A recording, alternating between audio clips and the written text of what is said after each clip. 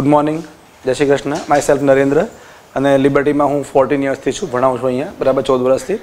When I was started year that time I had started to teach English science technology start કર્યું હતું. પછી geography ethics પબેડ પછી culture આવા subject ચાલુ કર્યા કરંટ અફેર્સ બધા ભણવાનું ચાલુ કર્યા. ફોર્ટીન યર્સની આ જર્નીમાં મેક્સિમમ લોકો અહીંથી સિલેક્ટ થઈને ગયા છે. એટલે બહુ બ્રિલિયન્ટલી આ થયું છે. બટ ઓબ્વિયસ છે કે ભાઈ, સમય સાથે બધી વસ્તુ બદલાતી હોય છે, બરાબર? જેમ કે અત્યારે રિસેન્ટલી કોન્સ્ટેબલનું કોઈ બદલાઈ ગયો. બરાબર? કોન્સ્ટેબલ બધું નવું આવી ગયું. એટલે વિજ્ઞાન જે નોર્મલ હતું, એની જગ્યાએ આખું જીસીઆરટી મૂકી દીધી લોકોએ, બરાબર? છે પોસ્ટ કોન્સ્ટેબલની પણ મૂક્યું જીસીઆરટી સૌથી મોટું બેનિફિટ એ છે કે કોઈ પણ ક્લાસ વન ટુની એક્ઝામ પાસ કરી હોય, તો તમારે જીસીઆરટી એનસીઆરટી વાંચવી પડે. બરાબર? ઓકે કન્વીન ગુજરાતી? ઓકે ગુજરાતી કન્વીન છે ને? ગુજરાતી. ઓકે જીસીઆરટી એનસી તમારે વાંચી જ પડે. જો કે જીસીઆરટી આપણી હવે એનસીઆરટીમાં કન્વર્ટ થઈ ચૂકી. તમને બધાને ખબર છે કે ઓગણીસ કે વીસમાં આઈ થિંક જીસીઆરટી એનસીઆરટીમાં કન્વર્ટ થઈ ગઈ. બરાબર ઓકે તો એનો મતલબ એવો છે કે આ લોકોએ કોન્સ્ટેબલમાં જે કોર્સ ચેન્જ કર્યો એ બહુ બેનિફિશિયલ થઈ ગયું. કેમ? કેમ કે વિજ્ઞાન ભણવું હોય, તો હવે જો જીસ કોઈએ કોન્સ્ટેબલ પાસ કરવી હોય, જો કોઈએ કોન્સ્ટેબલ પાસ કરવી હોય, તો એનો મતલબ એવો થયો કે એને જીસીઆરટી તો વાંચવી જ પડે. હા કે ના? વાંચવી જ પડે. હવે જેણે જીસીઆરટીનો વિજ્ઞાનનો કોર્સ પૂરો કરી નાખ્યો હોય, તો એને આગળની એક્ઝામમાં કોઈ પ્રોબ્લેમ નહીં થાય. નવી એક્ઝામમાં કોઈ સમસ્યા થશે નહીં. એને ઇઝી થશે એના માટે તો મારું કહેવાનું ઇન્ટેન્શન તમને જીસીઆરટીને મતલબ, એનું પેલું કોન્સ્ટેબલનો કોર્સ સમજવાનું ઇન્ટેન્શન નથી. ઇન્ટેન્શન એવો છે મારો તમને કહેવાનો કે તમારી પોતાની, તમારે ક્લાસ વન ટુ ક્લિયર કરવી હોય તો તમારું જીસીઆરટી કમ્પ્લીટ હોવી જોઈએ. વિજ્ઞાન શરૂ કરીને પહેલાં થોડી વાત ચર્ચા કરીએ આપણે, બરાબર વસ્તુની. તો જીસીઆરટી એટલે કે એનસીઆરટી તમારી કમ્પ્લીટ છથી દસ ધોરણનું એનસીઆરટીની બુક તમે વાંચો તો તમારો વાંધો ના આવે. એમાં છથી દસ ધોરણની એનસીઆરટી નોર્મલ જીએસના સબ્જેક્ટ માટે વાંચવી પડે. પણ સાથે તમારે બીજું શું વાંચવું પડે? તો સાથે અગિયાર બારની હિસ્ટ્રી અગિયાર બારની જ્યોગ્રાફી અને અગિયાર બારની ઇકોનોમી જો આટલું વાંચી નાખો તો તમારી જીપીએસસી પ્રિલિમ્સ ક્લિયર થાય. ધ્યાન રાખજો. હવે એસટીઆઈનો જે કોર્સ છે ને એસટીઆઈ ડીવાયએસઓ અને પીએસઆઈ એસટીઆઈ ડીઆઈ ડીવાયએસઓ અને પીએસઆઈનો વિજ્ઞાનનો કોર્સ છે ને it is the part of class one two course એટલે ક્લાસ વન ટુમાં જે વિજ્ઞાનનો કોર્સ છે, એ એસટીઆઈનો એમાંથી લીધેલો કોર્સ છે. જેમ કે અવકાશ છે ડિફેન્સ છે, આવા કોર્સ એમાંથી લીધેલા છે. એટલા માટે જો તમે ક્લાસ વન ટુથી પ્રિપરેશન કરો ને તો ક્લાસ વન ટુની પ્રિપરેશનમાં તમારે બે મુદ્દા ખાલી વધી જાય, બીજું કંઈ ના થાય. તો ક્લાસ વન ટુ પ્રિપેર કરો તમારું એસટીઆઈ પણ ક્લિયર થાય ડીવાયએસઓ પણ ક્લિયર થાય પીએસઆઈ પણ ક્લિયર થાય અને પ્લસ છેલ્લે જીપીએસસી પણ ક્લિયર થાય. ધ્યાન રાખજો, આ રીતે છે. એટલા માટે પ્રિપરેશન કઈ કરવી જોઈએ? પ્રિપરેશન ક્લાસ વન ટુની જ કરવી જોઈએ because your course is the part of class one two class one ટુમાંથી snatch કરીને લીધું છે. સૌથી મોટું પ્રોબ્લમ એ થયો કે પીએસઆઈમાં એ લોકોએ ક્લાસ વનનો કોર્સ મૂક્યો છે. જે ડીવાયએસઓમાં જે એસટીએમાં પણ છે. એટલે પીએસઆઈવાળા થોડું વધારે હાઈ ભણવું પડે. તો વિજ્ઞાનનો કોર્સ ઓલમોસ્ટ ક્લાસ વન ટુનો જ છે. અને વન ટુમાંથી બધું ફેચ કરીને લીધેલું છે. બરાબર? તો આ મારું એકેડેમિક છે એમએસસી ફિઝિક્સ બરાબર ઓકે અને આપણે આજે ભણીશું અવકાશનો કોર્સ અવકાશ મતલબ સ્પેસ સ્પેસ સાયન્સ બરાબર? જે અત્યારે બહુ ચર્ચામાં છે. અત્યારે હાલમાં સ્પેસ સાયન્સ બહુ એટલે બહુ ચર્ચામાં છે. તમે જાણતા હશો. જેમ કે તમે જુઓ તો આદિત્ય એલવન મિશન છે, બરાબર ઓકે એના સિવાય અત્યારે ગગનયાન મિશન લોન્ચ થવાનું છે. તો આ બધી વસ્તુઓ કરંટ અફેર્સમાં આવે, બરાબર? પણ કરંટ અફેર્સ તમે સમજો તો કરંટ અફેર્સ સમજવા માટે તમને પ્રેક્ટિકલી પહેલાં સ્ટાર્ટિંગનું નોલેજ તો હોવું જ જોઈએ. તો નોર્મલી વિજ્ઞાનનો જે કોર્સ ક્લાસ વન ટુનો હોય, એમાં ત્રણ ભાગ પડે. એક તો જનરલ સાયન્સ જનરલ સાયન્સ એક મેઇન મુદ્દો છે. જનરલ સાયન્સ પછી ટેકનોલોજી આવે. શું આવે? ટેકનોલોજી અને ટેકનોલોજી આવડે તો તમને કરંટ અફેર્સ આવડે. શું આવડે? કરંટ અફેર્સ આવડે. જનરલ સાયન્સ આવડે તો ટેકનોલોજી આવડે. તો કરંટ અફેર્સ તમને આવડે. અદરવાઇઝ તમને ના આવડે. સિમ્પલ એક્ઝામ્પલ લઈએ. જનરલ સાયન્સમાં ત્રણ ટોપિક આવે. બાયોલોજી તમને ખબર હશે. ફિઝિક્સ અને બીજું કોઈ આવે? કેમેસ્ટ્રી બાયોલોજી ફિઝિક્સ અને કેમેસ્ટ્રી વિષય શરૂ કરતા પહેલાં તમને ખાલી સમજાવવા માગું છું કે આમાં પ્રિપરેશન કઈ પ્રકારે કરી શકાય. બરાબર ઓકે તો બાયોલોજીમાં ટોપિક્સ ઘણા બધા ટોપિક્સ આવે. જેમ કે બાયોલોજીમાં ટોપિક્સ સેલ એટલે કે કોષ. બાયોલોજી ટોપિક આવે સેલ એટલે કે કોષ ટોપિક આવે. બરાબર ઓકે એના સિવાય જીવ વિજ્ઞાનની અંદર રોગોનો એક ટોપિક આવે. રોગો મતલબ ડિસીઝીસ કરંટમાં ડિસીઝીસ બહુ સ્પ્રેડ થયા છે, એનો ટોપિક આવે. બરાબર ઓકે ખાલી બેને આપણે રાખીએ. ફિઝિક્સમાં ટોપિક આવે ધ્વનિ. ધ્વનિ મતલબ સાઉન્ડ ફિઝિક્સમાં ટોપિક આવે ધ્વનિ એટલે કે સાઉન્ડ બરાબર? બેસલ ધ્વનિ એટલે કે સાઉન્ડ ટોપિક આવે, બરાબર? ધ્વનિ ફિઝિક્સમાં ટોપિક આવે, ભૌતિક વિજ્ઞાનમાં સમજો ખાલી. તમને સમજાવું છું કે how the topics are interrelated topics એકબીજાથી કયા પ્રકારે જોઈન થયેલા છે આપણે સમજવાનો પ્રયત્ન કરીએ છીએ, બરાબર? ઓકે ફિઝિક્સમાં ધ્વનિ ટોપિક આવે, બરાબર? એના સિવાય ટોપિક આવે પ્રકાશ, બરાબર? ધ્વનિ, પ્રકાશ. ટોપિક આવે વિદ્યુત, આવા ટોપિક આવે. કેમિસ્ટ્રીમાં કેવું હોય ખાલી ફેક્ટ્સ હોય. શું હોય ખાલી? ફેક્ટ્સ આવે. બીજું કંઈ ના આવે. આમાંથી પણ પ્રશ્નો આવતા હોય છે.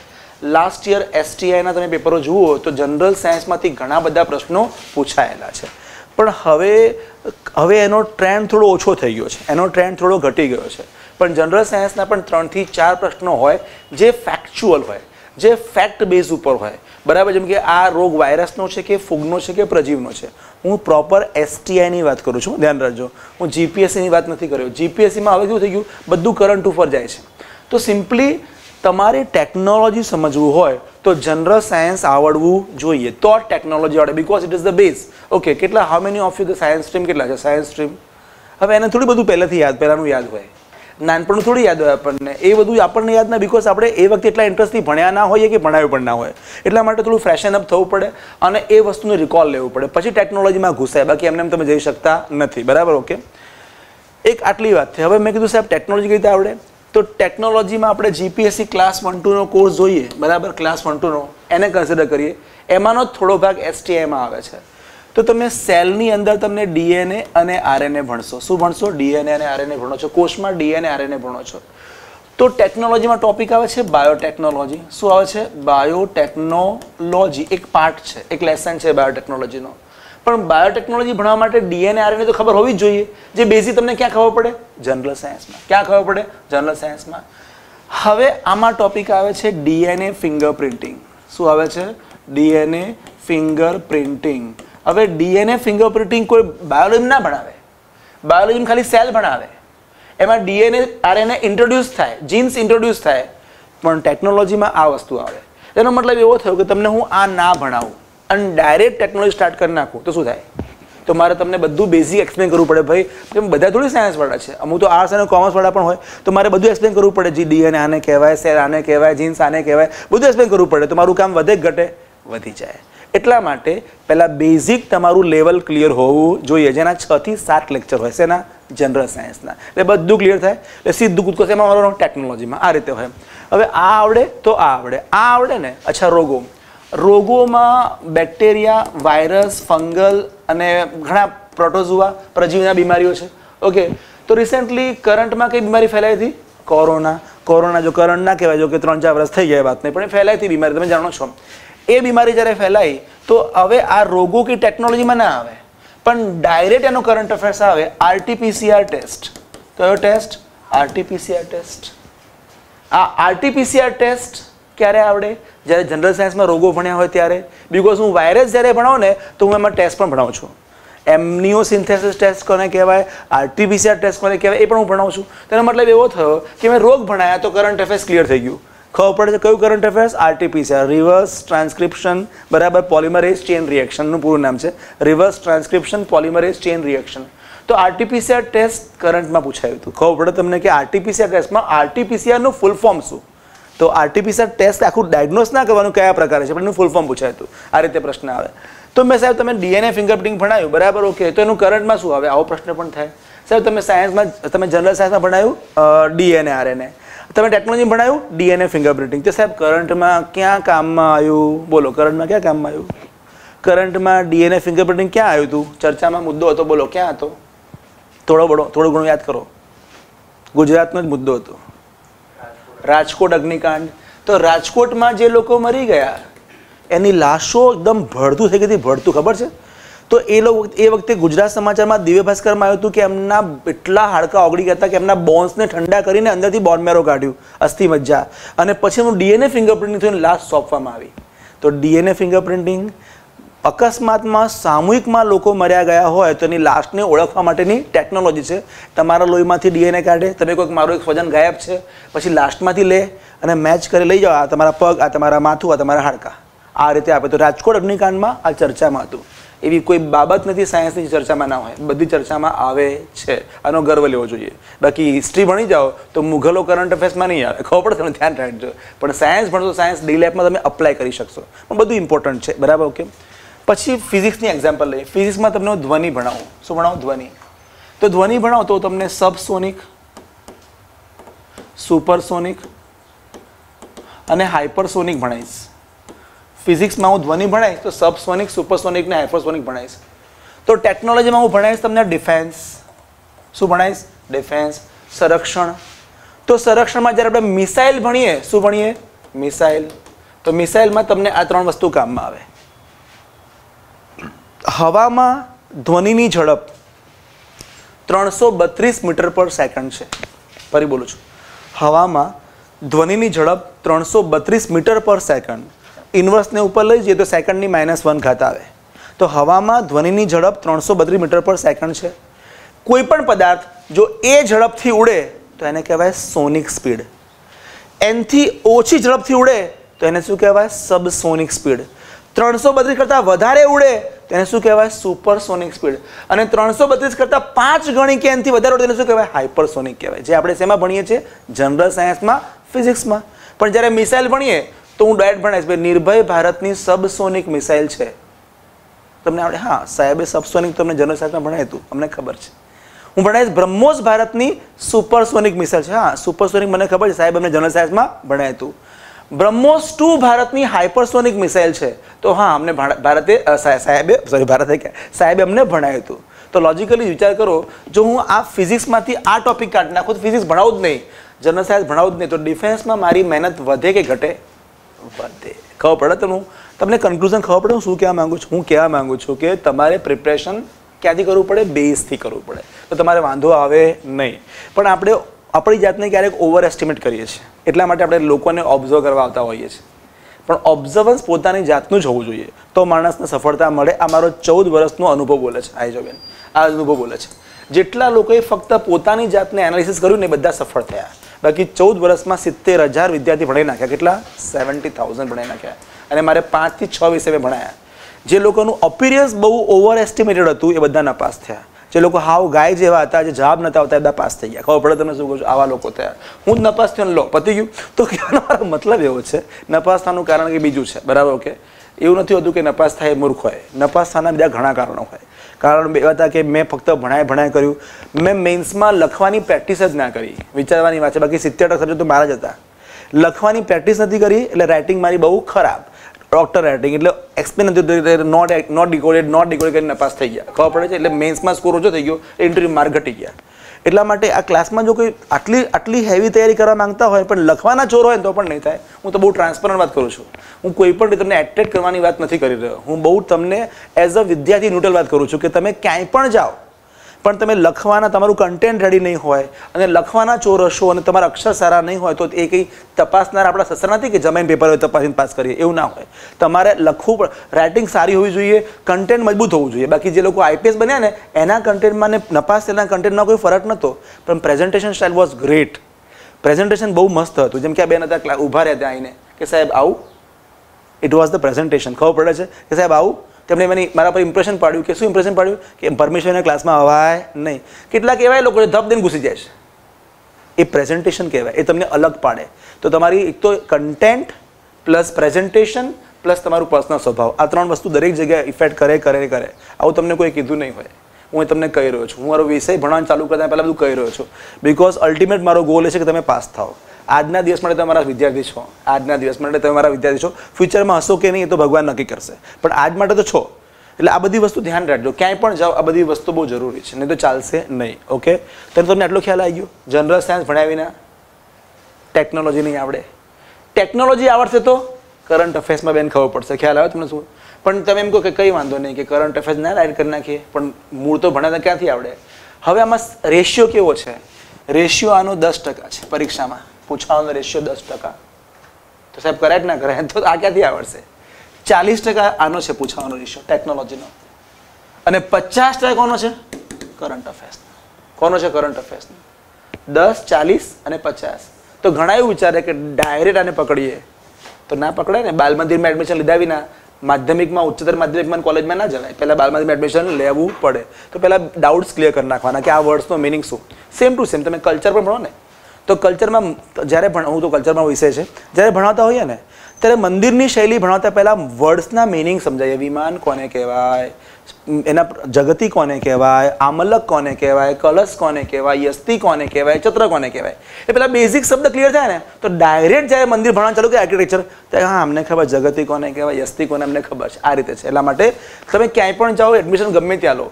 બેઝિક ક્લિયર કે એના ડાયરેક્ટ ફલાંગ ના મારતા. આવા ઘણા દાંત તૂટી નીચે પડી જાય છે. અને પછી માણસો ડિમોરલાઇઝ થાય કે હું અપાસ તો અમારે કરવું જ નહીં આગળ. આવું થાય. કેમ કે એક તો ગુજરાતનો વિદ્યાર્થી જાગે મોડો. એ જ થઈ ગયું હોય. અને પછી પ્રિપેરેશન સ્ટાર્ટ કરે. જ્યારે યુપી બિહારમાં તો અઢાર, ઓગણીસ ચાલુ કરી નાખેલો વાંચવાનું. એટલા માટે અટેમ્પમાં પાસ થઈ જતા હોય. એટલે ક્લિયર યાદ રાખજો, આ દસ ટકા, આ ચાલીસ ટકા અને આ પચાસ ટકા મારા વિષય માટે, વિજ્ઞાન અને ટેકનોલોજી માટે. બાકીના વિષયનું મને એટલું આઈડિયા નથી. ઓકે ચલો આગળ જઈએ. આજે આપણે ભણીશું ટોપિક અવકાશ એટલે કે સ્પેસ એટલે અવકાશ. કેટલાના અવકાશમાં જવાની ઈચ્છા છે લાઈફમાં એકવાર બેનો? તમારે જવું છે અવકાશમાં એક તમારે કોઈને બેન તમારે? નહીં? તમારે? કોઈ નહીં? તમારે ભાઈ જવું છે અવકાશમાં એક વાર લાઈફમાં? આ બાજુ બહેનોમાં કોઈ નહીં? નહીં? કેમ? મફતમાં જવું તો અ બોલો, મફતમાં. મફતમાં હા પાડશે. તો જેને અવકાશમાં જવું હતું એકવાર પહેલાં ઘરના માળિયામાં ચડો ઓકે? તો ધ્યાન રાખજો. તો ક્યારે મારો મતલબ ખબર પડી? અહીંયા પણ મારું વાત એ જ છે. બેઝિકથી સ્ટાર્ટ કરો. ઘરિયા ઘરના માળિયા મતલબ બેઝિકથી સ્ટાર્ટ કરો. ક્યારનો મતલબ આ હતો? ચલો, અવકાશની વાત આપણે કરીએ તો અવકાશ યુગની શરૂઆત ભારતમાં કયા પ્રકારે થઈ એની થોડી ચર્ચા પહેલાં આપણે કરીએ. તો સૌથી પહેલાં અવકાશમાં જેનો દેશ કયો છે? રશિયા. સૌથી પહેલાં અવકાશમાં કોણ ગયું? રશિયામાં ગયું. ઓગણીસો સત્તાવનમાં આના ઉપરથી જ કાલ ટેસ્ટ આ બધા વર્ડ્સ યાદ રાખજો, આના ઉપરથી કાલ તમારી મોક ટેસ્ટ છે અહીંયા, વીસ માર્કની ઓકે તો સૌથી પહેલાં ઓગણીસો સત્તાવનમાં રશિયાનું સોયુઝ યાન કયું યાન? સોયુઝ યાન અવકાશમાં ગયું. રશિયાનું કયું યાન? સોયુઝ યાન અવકાશમાં ગયું. તમે યાદ રાખશો શું કરશો તમને ખબર. પણ પોઈન્ટ લખતા રહેજો. નાઇન્ટીન ફિફ્ટી સેવનમાં રશિયાનું કયું યાન સોયુઝ યાન અવકાશમાં ગયું? તો અવકાશમાં જનારો પ્રથમ દેશ કયો? રશિયા. સત્તાવનમાં રશિયા નહોતું. સત્તાવનમાં હતું USSR united state of soviet Russia. એનો એક ભાગ કોણ હતો? રશિયા. તો પ્રથમ કોણ ગયું? Russia nineteen fifty સેવનમાં.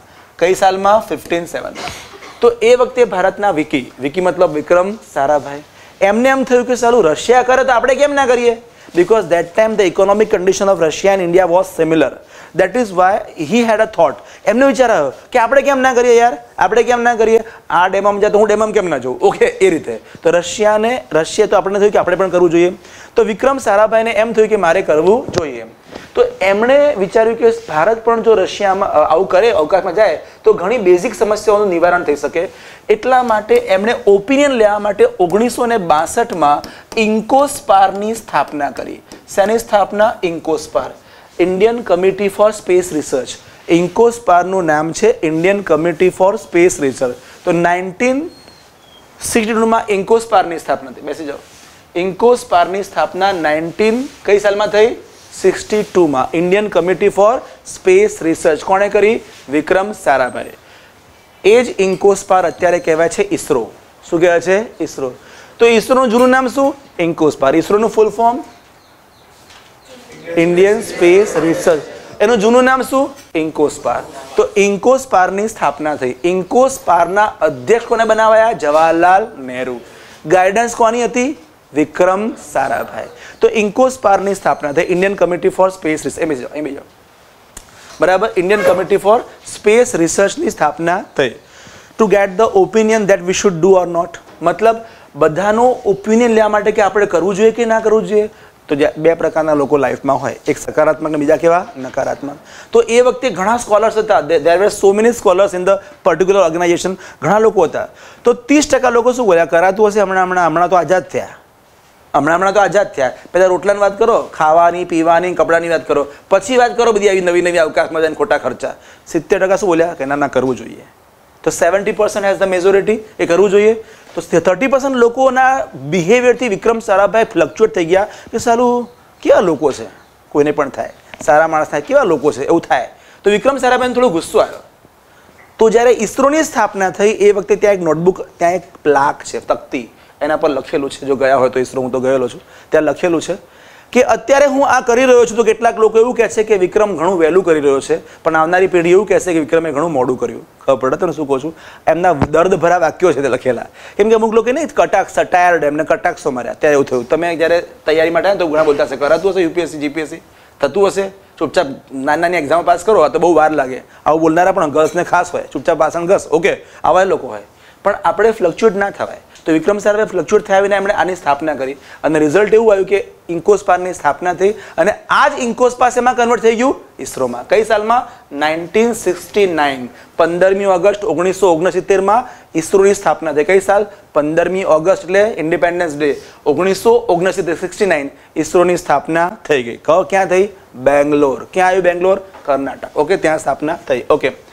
હવે આની સ્થાપના ઇન્કોસ્પારની સ્થાપના થઈ ગઈ. હવે ઘટના એવી ઘટે છે કે ઓગણીસો ત્રેસઠ, નાઇન્ટીન સિક્સટી થ્રીમાં ટર્લ્સની સ્થાપના થઈ. ટર્લ્સ. What is TERLS? ટર્લ્સ એટલે Thumba equatorial rocket launching station. Thumba equatorial rocket launching station. Thumba ક્યાં આવ્યું? કેરળ. ક્યાં આવ્યું? કેરળ. તો ટર્સની સ્થાપના કઈ સાલમાં થઈ? ઓગણીસો ને ત્રેસઠમાં. શું નામ છે? Thumba equatorial rocket launching station. બાસઠમાં કોની સ્થાપના થઈ? ઇન્કોસ્પાર ત્રેસઠમાં ટર્સ આવો પ્રશ્ન બનાવ્યા ધ્યાન રાખજો, આ પ્રશ્નો છે એમસીક્યુમાં. ઓકે. તો ટર્સની સ્થાપના થઈ. મેં ઇન્ટરચેન્જ પણ કરી નાખ્યું હોય, સાલ બદલી નાખ્યું હોય, તમારે ધ્યાન રાખવાનું. તો ટર્સ સ્થાપના થઈ. તો પહેલું રોકેટ લોન્ચિંગ સ્ટેશન ક્યાં સ્થપાયું? કેરલામાં કઈ જગ્યાએ થુંબા થુંબા ત્રિવેન્દ્રમ તિરુવનંતપુરમ જે આપણે કહીએ ત્યાં બરાબર ઓકે હવે ત્યાં વિક્રમ સારાભાઈને મળી ગયા મૃણાલિની સારાભાઈ કોણ મળી ગયા મૃણાલિની સારાભાઈ થઈ ગયા શું લગન ખબર પડે તમને તો વિક્રમ સારાભાઈ થુંબા કેમ પસંદ કર્યું ઓકે તો બિકોઝ ત્યાં એમને લાઈફ પાર્ટનરને મળી ગયું આ બધી સ્ટોરીઝ છે બરાબર એકલું જ્ઞાન ના ભણે બધું મર્જ કરવું પડે તો મજા આવે ઓકે તો ત્રેસઠમાં સ્થાપના થઈ નાઇન્ટીન સિક્સટી નાઇનમાં કોની સ્થાપના થઈ ઇસરો કઈ સાલમાં? ઓગણીસો ઓગણસિત્તેરમાં ઈસરોની સ્થાપના થઈ, ધ્યાન રાખજો. તો ઈસરોનું જૂનું નામ શું બેન? ઇન્કોસ્પાર. ઇન્કોસ્પાર શેમાં કન્વર્ટ થઈ ગયું? ઈસરોમાં. ધ્યાન રાખજો. ઓગણીસો બોતેરમાં ભારતનો ડિપાર્ટમેન્ટ ઓફ સ્પેસની સ્થાપના થઈ. તો ડિપાર્ટમેન્ટ ઓફ સ્પેસ સ્થાપના કઈ સાલમાં થઈ? ઓગણીસો ને બોતેર. Nineteen seventy two department of સ્પેસની સ્થાપના થઈ. Can can you explain me department of space કોના અંડરમાં આવે? ડિપાર્ટમેન્ટ ઓફ સ્પેસ કોના અંડરમાં પ્રધાનમંત્રીના અંડરમાં. પ્રધાનમંત્રીના હાથમાં ડિપાર્ટમેન્ટ ઓફ સ્પેસ હોય. બીજા કોઈ ના સોંપે. અણુ વિભાગ સ્પેસ વિભાગ એમના હાથમાં હોય. એટલે નરેન્દ્ર મોદીના હાથમાં છે. ઓગણીસો બોતેરમાં ભારતનો સ્પેસ પ્રોગ્રામ ઘડાયો. Space program. કે શું કરવાનું છે આપણે? કઈ સાલમાં કેટલું કરીશું? કઈ સાલમાં? Nineteen seventy ટુમાં. એ જ એ જ વર્ષે ભારતનો સ્પેસ પ્રોગ્રામ ઘડાયો. કઈ સાલમાં? ઓગણીસો ને બોતેરમાં. અને ઓગણીસો બોતેરમાં જ એ જ વર્ષે સ્પેસ કમિટી બની. શું બની? Space committee. આવી રાઇટિંગ કાઢો તો નપાસ થાવ ધ્યાન રાખજો. રાઇટિંગ સારી કાઢવાની. મારે તમને થોડા સમયમાં વધારે નોલેજ આપું છું, એટલા માટે હું ફટાફટ લખું છું. પણ મારા શબ્દો પર ધ્યાન રાખજો. તો બોતેરમાં space department of space space program અને સ્પેસ કમિટી. ક્લિયર થઈ ગયું બધાને? ડન છે. આટલી ઘટનાઓ ઘટી. આ બધી ઐતિહાસિક ઘટના કહેવાય. અવકાશ જ્યારે ભણતા હતા આપણે બધી ખબર હોવી જોઈએ. ઓકે ચલો. હવે શું થયું? આપણી પાસે પોતાનું લોન્ચિંગ વ્હીકલ નહોતું. સી ગાઈસ આ જે રિમોટ છે ને રિમોટ આ લોન્ચિંગ વ્હીકલ છે. અને આ પેન છે ને રોકેટ છે, અથવા ઉપગ્રહ છે. પેન ઉપગ્રહ છે અને આ લોન્ચિંગ વ્હીકલ છે. બંને અલગ હોય. છોકરાઓ ઉપગ્રહ છે અને વેનવાળો શું કહેવાય? લોન્ચિંગ વ્હીકલ કહેવાય. સ્કૂલમાં મૂકી આવે. સેમ ટુ સેમ આ લોન્ચિંગ વ્હીકલ છે અને આ ઉપગ્રહ છે. આપણે ઉપગ્રહ બનાવી દીધો, પણ we had not any launching vehicle તો મૂકી, ઉપર પણ મૂકી આવે?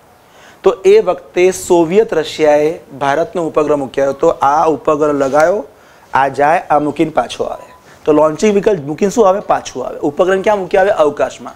તો ગાઈસ ભારતે પહેલો ઉપગ્રહ બનાવ્યો આર્યભટ્ટ. આર્યભટ્ટ ભારતનો પહેલો સ્વદેશી ઉપગ્રહ છે. શું નામ છે એનું? આર્યભટ્ટ. ભારતનું પ્રથમ સ્વદેશી ઉપગ્રહ કયું છે? આર્યભટ્ટ.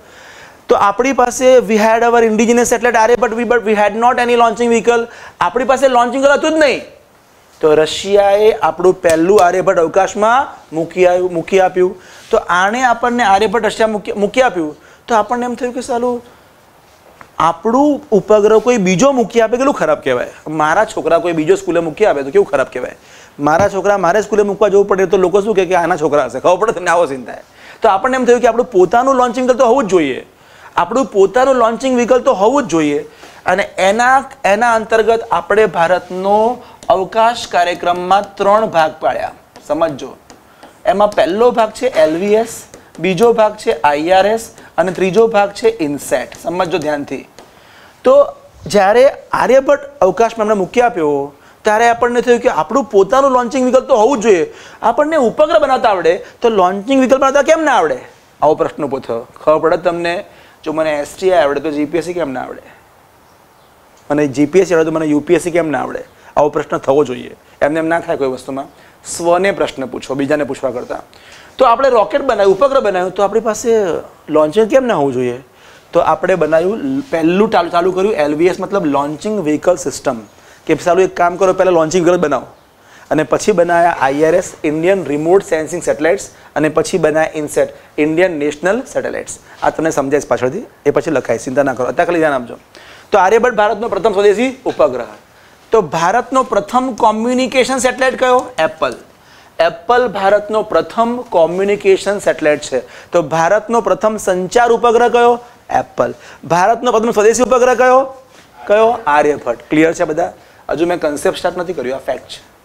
હજુ આ ફેક્ટ જ છે. કન્સેપ્ટ સ્ટાર્ટ નથી કર્યું. કન્સેપ્ટમાં કન્સેપ્ટ સહેલું પડે ફેક્ટ અઘરા પડે. આ અઘરા પડે, ગોખણ પટ્ટી છે બધી. આઘરું પડે. સાહેબ, તમને કેમ આવડે? આમાં હું નવે આટલા વર્ષથી ભણતા, આવડે જ ને. પણ આ ફેક્ટ છે. મને પણ તકલીફ પડે યાદ રાખવામાં. પણ કન્સેપ્ટ હોય ને કે આમાં આવું હોય ને આમાં આવું હોય, આ નાખો તો આ બને, એ યાદ રહી જાય. પર્વતો કે તે બને યાદ રહી જાય કે એમાં કન્સેપ્ટ આવે. ફેક્ટ ડેટા યાદ રાખવો બહુ તકલીફવાળો છે. કઈ તિથિએ તરણેતરનો મેળો થાય? કઈ તિથિ તિથિ યાદ રાખવી અઘરી છે? પણ તરણેતરના મેળાની સ્ટોરી કેવી કહેવાય? સહેલી કહેવાય. ખબર પડે છે? સ્ટોરી શું કહેવાય? કન્સેપ્ટ તિથિ શું કહેવાય? ફેક્ટ ફેક્ટ અઘરા પડે. તો સાહેબ, જ્યારે પણ જીપીએસસી કે એસટીની પ્રિપેરેશન કરવાની હોય, તો સાહેબ શું કરાય? ફેક ડેટા ઘરેથી વાંચવાનો. અને કન્સેપ્ટ માટે ક્લાસમાં આવવાનું. આવી જાઓ. ખબર પડે છે? ફેટ ક્યાં વાંચવાનું? ઘરે. અને કન્સેપ્ટ માટે ક્યાં આવવાનું? ક્લાસમાં હું આ ના લખાયું હોત તો પણ તમે ઘરે ગોખી શકે ના શકો આમાં સ્ટોરી છે ક્યાંય? તમે એને ગોખી શક્યા જ ના શું હોત પણ ક્રાયોજેનિક એન્જિન કેવી રીતે ચાલે સાહેબ? એ સમજાવવું પડે. એ ગોખવાની વસ્તુ નથી. એન્જિન કયા પ્રકારે ચાલે ને એ ગોખવાની વસ્તુ નથી, એ કન્સેપ્ટ છે. કઈ સાલમાં શું થયું, શું કહેવાય? ફેક્ટ ભારતના પ્રથમ પ્રધાનમંત્રી કોણ? જવાહરલાલ એ ફેક્ટ કહેવાય. એમાં કોઈ સ્ટોરી નહીં. સ્ટોરી શું કહેવાય? કન્સેપ્ટ ઇઝી પડે. પણ ફેટ કેવું પડે અઘરું? તમને ખબર પડે, તમને ફક્ત ભણાઈ નથી રહ્યો. તમને હાઉ ટુ પ્રિપેર સમજાઈ રહ્યો છું. એટલે તમે જ્યારે પણ કોઈ જગ્યાએ એડમિશન લો, અહીં આવો, ગમે ત્યાં જાઓ. બરાબર ઓકે ત્યારે શું કરવું પડે? પહેલાં ડિસાઇડ કરો કે કેટલી વસ્તુ એવી છે કે હું મારા ઘેરથી કરી શકું તેમ છું. અને કેટલી વસ્તુ એવી છે કે મને સાહેબ સમજાવતો આવડે, એને પહેલાં અલગ કરી નાખો. જે લોકો ઘેરથી કરી શકે એ વસ્તુ ચાલુ ચાલુ કરી નાખે ને બોસ એ પાસ થાય. જે બધી વસ્તુ માટે ટોટલી બીજા ઉપર આધારિત રાખે ને નપાસ થાય. ખબર પડે તમને? આ મારો અનુભવનો નિચોડ તમને કહું છું આટલા વર્ષનો, કે આવા લોકો જ નપાસ થાય. જે લોકો, ના ના, આ પોઈન્ટ તો સાહેબે કરાયો જ નહીં. ના ના, આ તો થયું જ નહીં. એ લોકો રહી ગયા. જે ફેક્ટ હતા, જેમાં સમજાવવાનું નહોતું કશું. એવા લોકોએ ગોખણ પટ્ટી ના કરી. આ રીતે છે. બરાબર? ઓકે. પોલિયો વાયરસની બીમારી કે બેક્ટેરિયાની તો વાયરસની. આ ગોખવાની વસ્તુ કે યાદ, કે સાહેબ, ભણો તો આવડે કે ગોખો તો આવડી જાય? ગોખો તો આવડે. આવું મેં તમને સમજાવ્યું કે શું કરી શકાય? સ્ટ્રેટેજી સાહેબ. આટલી ખબર પડી બધાને? ક્લિયર થયું બધાને? આ રીતે છે. શું થયું બેન? પોલિયો વાયરસની જ છે. બરાબર? કે ચલો. ડન આગળ જઈએ આપણે હવે. બદલાતું નથી. ચલો, વાંધો નહીં. નેક્સ્ટ હવે આ થોડા ફેક્ટ લખાયા. હવે આપણે સમજીએ તો કન્સેપ્ટ સમજીએ. કન્સેપ્ટમાં કેવું છે? તો જુઓ. પહેલો કન્સેપ્ટ છે cryogenic engine cryogenic engine cryogenic એન્જિનના પ્રશ્ન જીપીએસસીમાં ફૂલ પૂછાય છે. ફૂલ એટલે ફૂલ. ક્રાયોજેનિક એન્જિનમાં ક્રાયો એટલે શું? ક્રાયો એટલે અતિશય ઠંડુ. What is the meaning of cryo cryo means અતિશય ઠંડુ. પૂછાયેલો પ્રશ્નો, આ બધા પૂછાયેલા પ્રશ્નો છે. કયા તાપમાનને ક્રાયો તાપમાન કહેવાય? માઇનસ એકસો પચાસ ડિગ્રી સેલ્સિયસ અથવા માઇનસ બસો આડત્રીસ ડિગ્રી ફેરનિટ તાપમાનને ક્રાયો તાપમાન કહેવાય. તો which temperature is known as cryo temperature minus one fifty degree Celsius or or એટલે અથવા. અથવા minus two thirty eight degree Fahrenheit is known as cryo temperature guy Celsius and temperature are the units of એકમ છે ને, ખબર છે ને?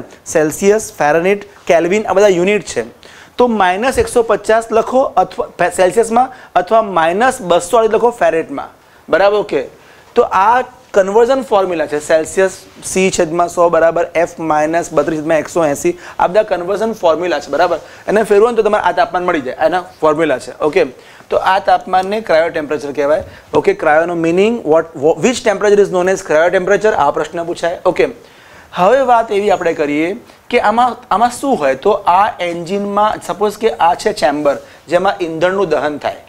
કેમ કે ઈંધણ બળે તો જ ગાડી ચાલે. બધાને ખબર છે, પેટ્રોલ બળે તો ગાડી ચાલે, ડીઝલ બળે તો ગાડી ચાલે. તો આમાં પણ ઈંધણ તો હશે જ ને? તો આ ક્રાયોજેનિક એન્જિનમાં liquid hydrogen it is fuel and liquid oxygen it is oxidiser. યાદ રાખજો વસ્તુને. તો પ્રવાહી હાઇડ્રોજન એ ઈંધણ છે અને પ્રવાહી ઓક્સિજન એ ઓક્સિડાઇઝર છે. મતલબ બળે કોણ? હાઇડ્રોજન. બાળે કોણ? ઓક્સિજન. યાદ રાખજો, આ પ્રશ્ન પણ પૂછાયેલા છે. કે ક્રાયોજેનિક એન્જિનમાં ઈંધણ તરીકે શું વપરાય? તો L S two liquid hydrogen. તો લિક્વિડ હાઇડ્રોજન એ શું છે? ઈંધણ છે. આમાં ઓક્સિડાઇઝર કોણ છે? લિક્વિડ અહીંયા જો બેન, આ જગ્યા છે. બરાબર, ઓકે? તો પ્રવાહી હાઇડ્રોજન એ ઈંધણ છે અને પ્રવાહી ઓક્સિજન એ શું છે? ઓક્સિડાઇઝર છે. એમ વાંધો નહીં. બરાબર, ઓકે, આ રીતે છે. તો ક્લિયર છે બધાને? ધ્યાન છે? ચલો, સમજીએ આપણે. તમને યાદ છે નવમા ધોરણની સાયન્સવાળા ખાસ યાદ રાખે? હું શું બોલું છું? નવમા ધોરણમાં બાકીના તો આર્ટ્સ કોમર્સ તો બચી ગયા કે તો આર્ટ્સવાળામાં કંઈ યાદ નહીં. ઓકે પણ નવમામાં કે આર્ટ્સ કોમર્સ સાયન્સ ના હોય, તો નાઇન્થમાં આપણે મેન્ડેલિફ્ટનો આવર્ત કોષ્ટક આવતો છે? કેમેસ્ટ્રીમાં મેન્ડેલિફ્ટનું પીરિયડ ટેબલ આવતું યાદ છે? પહેલું તત્વ કયું હતું મેન્ડેલિફ્ટમાં પહેલું કયું હતું? યાદ કરો. હાઇડ્રોજન. વેરી ગુડ બીજું કયું હતું? હેલિયમ. ત્રીજું કયું? લિથિયમ. છઠ્ઠું કાર્બન. સાતમું નાઇટ્રોજન. અગિયારમું સોડિયમ, સત્તરમું ક્લોરિન, બસ આટલા જ યાદ છે મને. ઓકે? તો આ બધું બહુ અઘરું પડી જાય. તો કેમેસ્ટ્રી મને ગમતું જ નહીં જોકે બરાબર કેમ એટલે મેં તો ફિઝિક્સ રાખ્યું. તો વિચારવાની વાત છે, એમાં પહેલું કયું હતું? હાઇડ્રોજન. તો મેન્ડેલિફના આવર્ત કોષ્ટકમાં પહેલું તત્વ કયું હતું? હાઇડ્રોજન. અસમજો પ્ર, અહીંયા કયું છે? પ્રવાહી હાઇડ્રોજન. એમાં ખાલી શું હતું? હાઇડ્રોજન. અને હાઇડ્રોજન કદી પણ બહુ માઇનસ ટેમ્પરેચર તો જ એ લિક્વિડ ફોર્મમાં હોય. હાઇડ્રોજન માઇનસ ટેમ્પરેચરમાં જ લિક્વિડ ફોર્મમાં હોય. ધ્યાન રાખજો. અતિશય નીચા તાપમાને જે પ્રવાહી સ્વરૂપમાં હોય, મારી વાતને ધ્યાન રાખજો. બરાબર? ઓકે બેસી જાઓ. ઓકે તો હાઇડ્રોજન જે હોય ને, એ બહુ અતિ નીચા તાપમાને જ પ્રવાહી સ્વરૂપમાં હોય. ભરવા ખાતર લેક્ચર ના ભરતો સમજો એવું સમજો કે ફરી સમજવું ના પડે. બરાબર? ઓકે મેં શું કીધું? જોવા માટે ના આવો. પોતાની જાતને જ ખાલી જુઓ. હું સમજાવવા માંગુ છું કે તમને આજે, આ જે ભણો ને કન્સેપ્ટ તમારો ક્લિયર થવો જોઈએ, બરાબર? અને કોઈ પ્રકારનું ઓવર એસ્ટિમેશન કરી ના બેસતા કે, ઓહો, જોવું તો ખરા કેવું ભણાવે. આવું ના વિચારતા, બરાબર? ઓકે. એમને એમ કંઈ ચાલતું નહીં હોય. ખાલી ભણજો આને નોલેજને ગ્રાસ્પ કરો, હું શું કહેવા માંગુ છું? તો હાઇડ્રોજન બહુ નીચા તાપમાને પ્રવાહી સ્વરૂપમાં હોય. કયા તાપમાને? માઇનસ એકસો પચાસ અથવા માઇનસ બસો આડત્રીસ. પેલું શેમાં છે? સેલ્સિયસમાં. પેલું શેમાં છે? ફેરેડમાં. તો એનો મતલબ એવો થયો કે આ તો બહુ ઠંડુ છે, એટલે તો પ્રવાહી છે. માઇનસમાં આપણે મરી જઈએ, ખબર પડે તમને? મનુષ્ય શરીરની જૈવિક ક્રિયાઓ થવા માટે કઈ રેન્જ હોવી જોઈએ? દસથી ચાલીસ. ઓછામાં ઓછું દસ, વધુમાં વધુ ચાલીસ. દસથી ઘટે તો સેલ વિલ ડાય ચાલીસથી વધે તો સેલ વિલ ડાય મરે માણસ, ખબર છે? તો તો માઇનસમાં જાય છે યાર, વિચાર કરો. હવે આ પ્રવાહી હાઇડ્રોજન મેં એડ કર્યો અંદર. જેવું જ હું આ લિક્વિડ ઓક્સિજન આને બાળવા માટે નાખીશ, તો આ એને બાળે, એના પહેલાં આને ફ્રીઝ કરી રાખે. લે, હું બાળીશ તું મને. તો ઓક્સિજન આખું જામી જાય, કેમ કે પેલું માઇનસ ટેમ્પરેચરમાં છે. તો પેલું જેવું દાખલ કરો, તો હાઇડ્રોજનને એ બાળે એના પહેલાં હાઇડ્રોજનને ફ્રીઝ કરી નાખે, જમાઈ દે. લો શું? એન્જિન ખોટ ગયું. એન્જિન ઉડે જ નહીં તો શું ઉડે? પતી ગયું. આ તો આપણને આવડતું જ નહીં. ક્રાયોજેનિક એન્જિન બનાવતા ભારતને નહોતું આવડતું. ધ્યાન રાખજો. આ ટેકનોલોજી વિદેશી ટેકનોલોજી, આપણને નથી આવડતી. તો હવે? તો આ તો ના ચાલે યાર. ખોટી વાત થઈ ગઈ. તો એટલા માટે શું કરવામાં આવે? તો પ્રવાહી હાઇડ્રોજનની હાજરીમાં કોઈ પણ સામાન્ય પ્રવાહી કે વાયુ ઠરી જાય, જામી જાય. તો આવું થાય તો એન્જિન ચાલે જ નહીં, હાઇડ્રોજન બળે જ નહીં, તો ગરમ વાયુ ઉત્પન્ન થાય જ નહીં, તો ધક્કો ક્યાંથી વાગે? વાગે જ નહીં. તો એન્જિન ફેલ થઈ ગયું, તો હવે શું? એટલા માટે લિક્વિડ હાઇડ્રોજન દાખલ કરીએ ને, એની જોડે હિલિયમને મૂકી દેવાનું. કોને મૂકી દેવાનું? હિલિયમ. હિલિયમ કેવો વાયુ છે? નિષ્ક્રિય વાયુ. Helium, neon, argon, krypton, radon ને ઝેનોન. આ છ નિષ્ક્રિય વાયુ છે. હવે તમે હિલિયમને મૂકી દો ને, તો હવે ઓક્સિજન મૂકો લિક્વિડ ઓક્સિજન. તો હવે આ આને ફ્રીજ ના કરી શકે. કેમ કે હિલિયમ ઇઝ ધ મીડિયેટર હિલિયમની હાજરીમાં હાઇડ્રોજન આને ફ્રીઝ ના કરી શકે, ઠારી ના શકે. તો બળતણ ચેમ્બરમાં શું નાખવામાં આવે? લિક્વિડ હાઇડ્રોજન, લિક્વિડ ઓક્સિજન સાથે હિલિયમ. હિલિયમ શું કરે? હિલિયમનું કામ શું? ઓક્સિજનને જામતા રોકે કોના દ્વારા? હાઇડ્રોજન દ્વારા. ક્લિયર છે બધાને? તો ક્રાયોજેનિક એન્જિનમાં શું ઉમેરવામાં આવે? મીડિયેટર તરીકે હિલિયમ ઉમેરવામાં આવે છે. હિલિયમ શું કરે?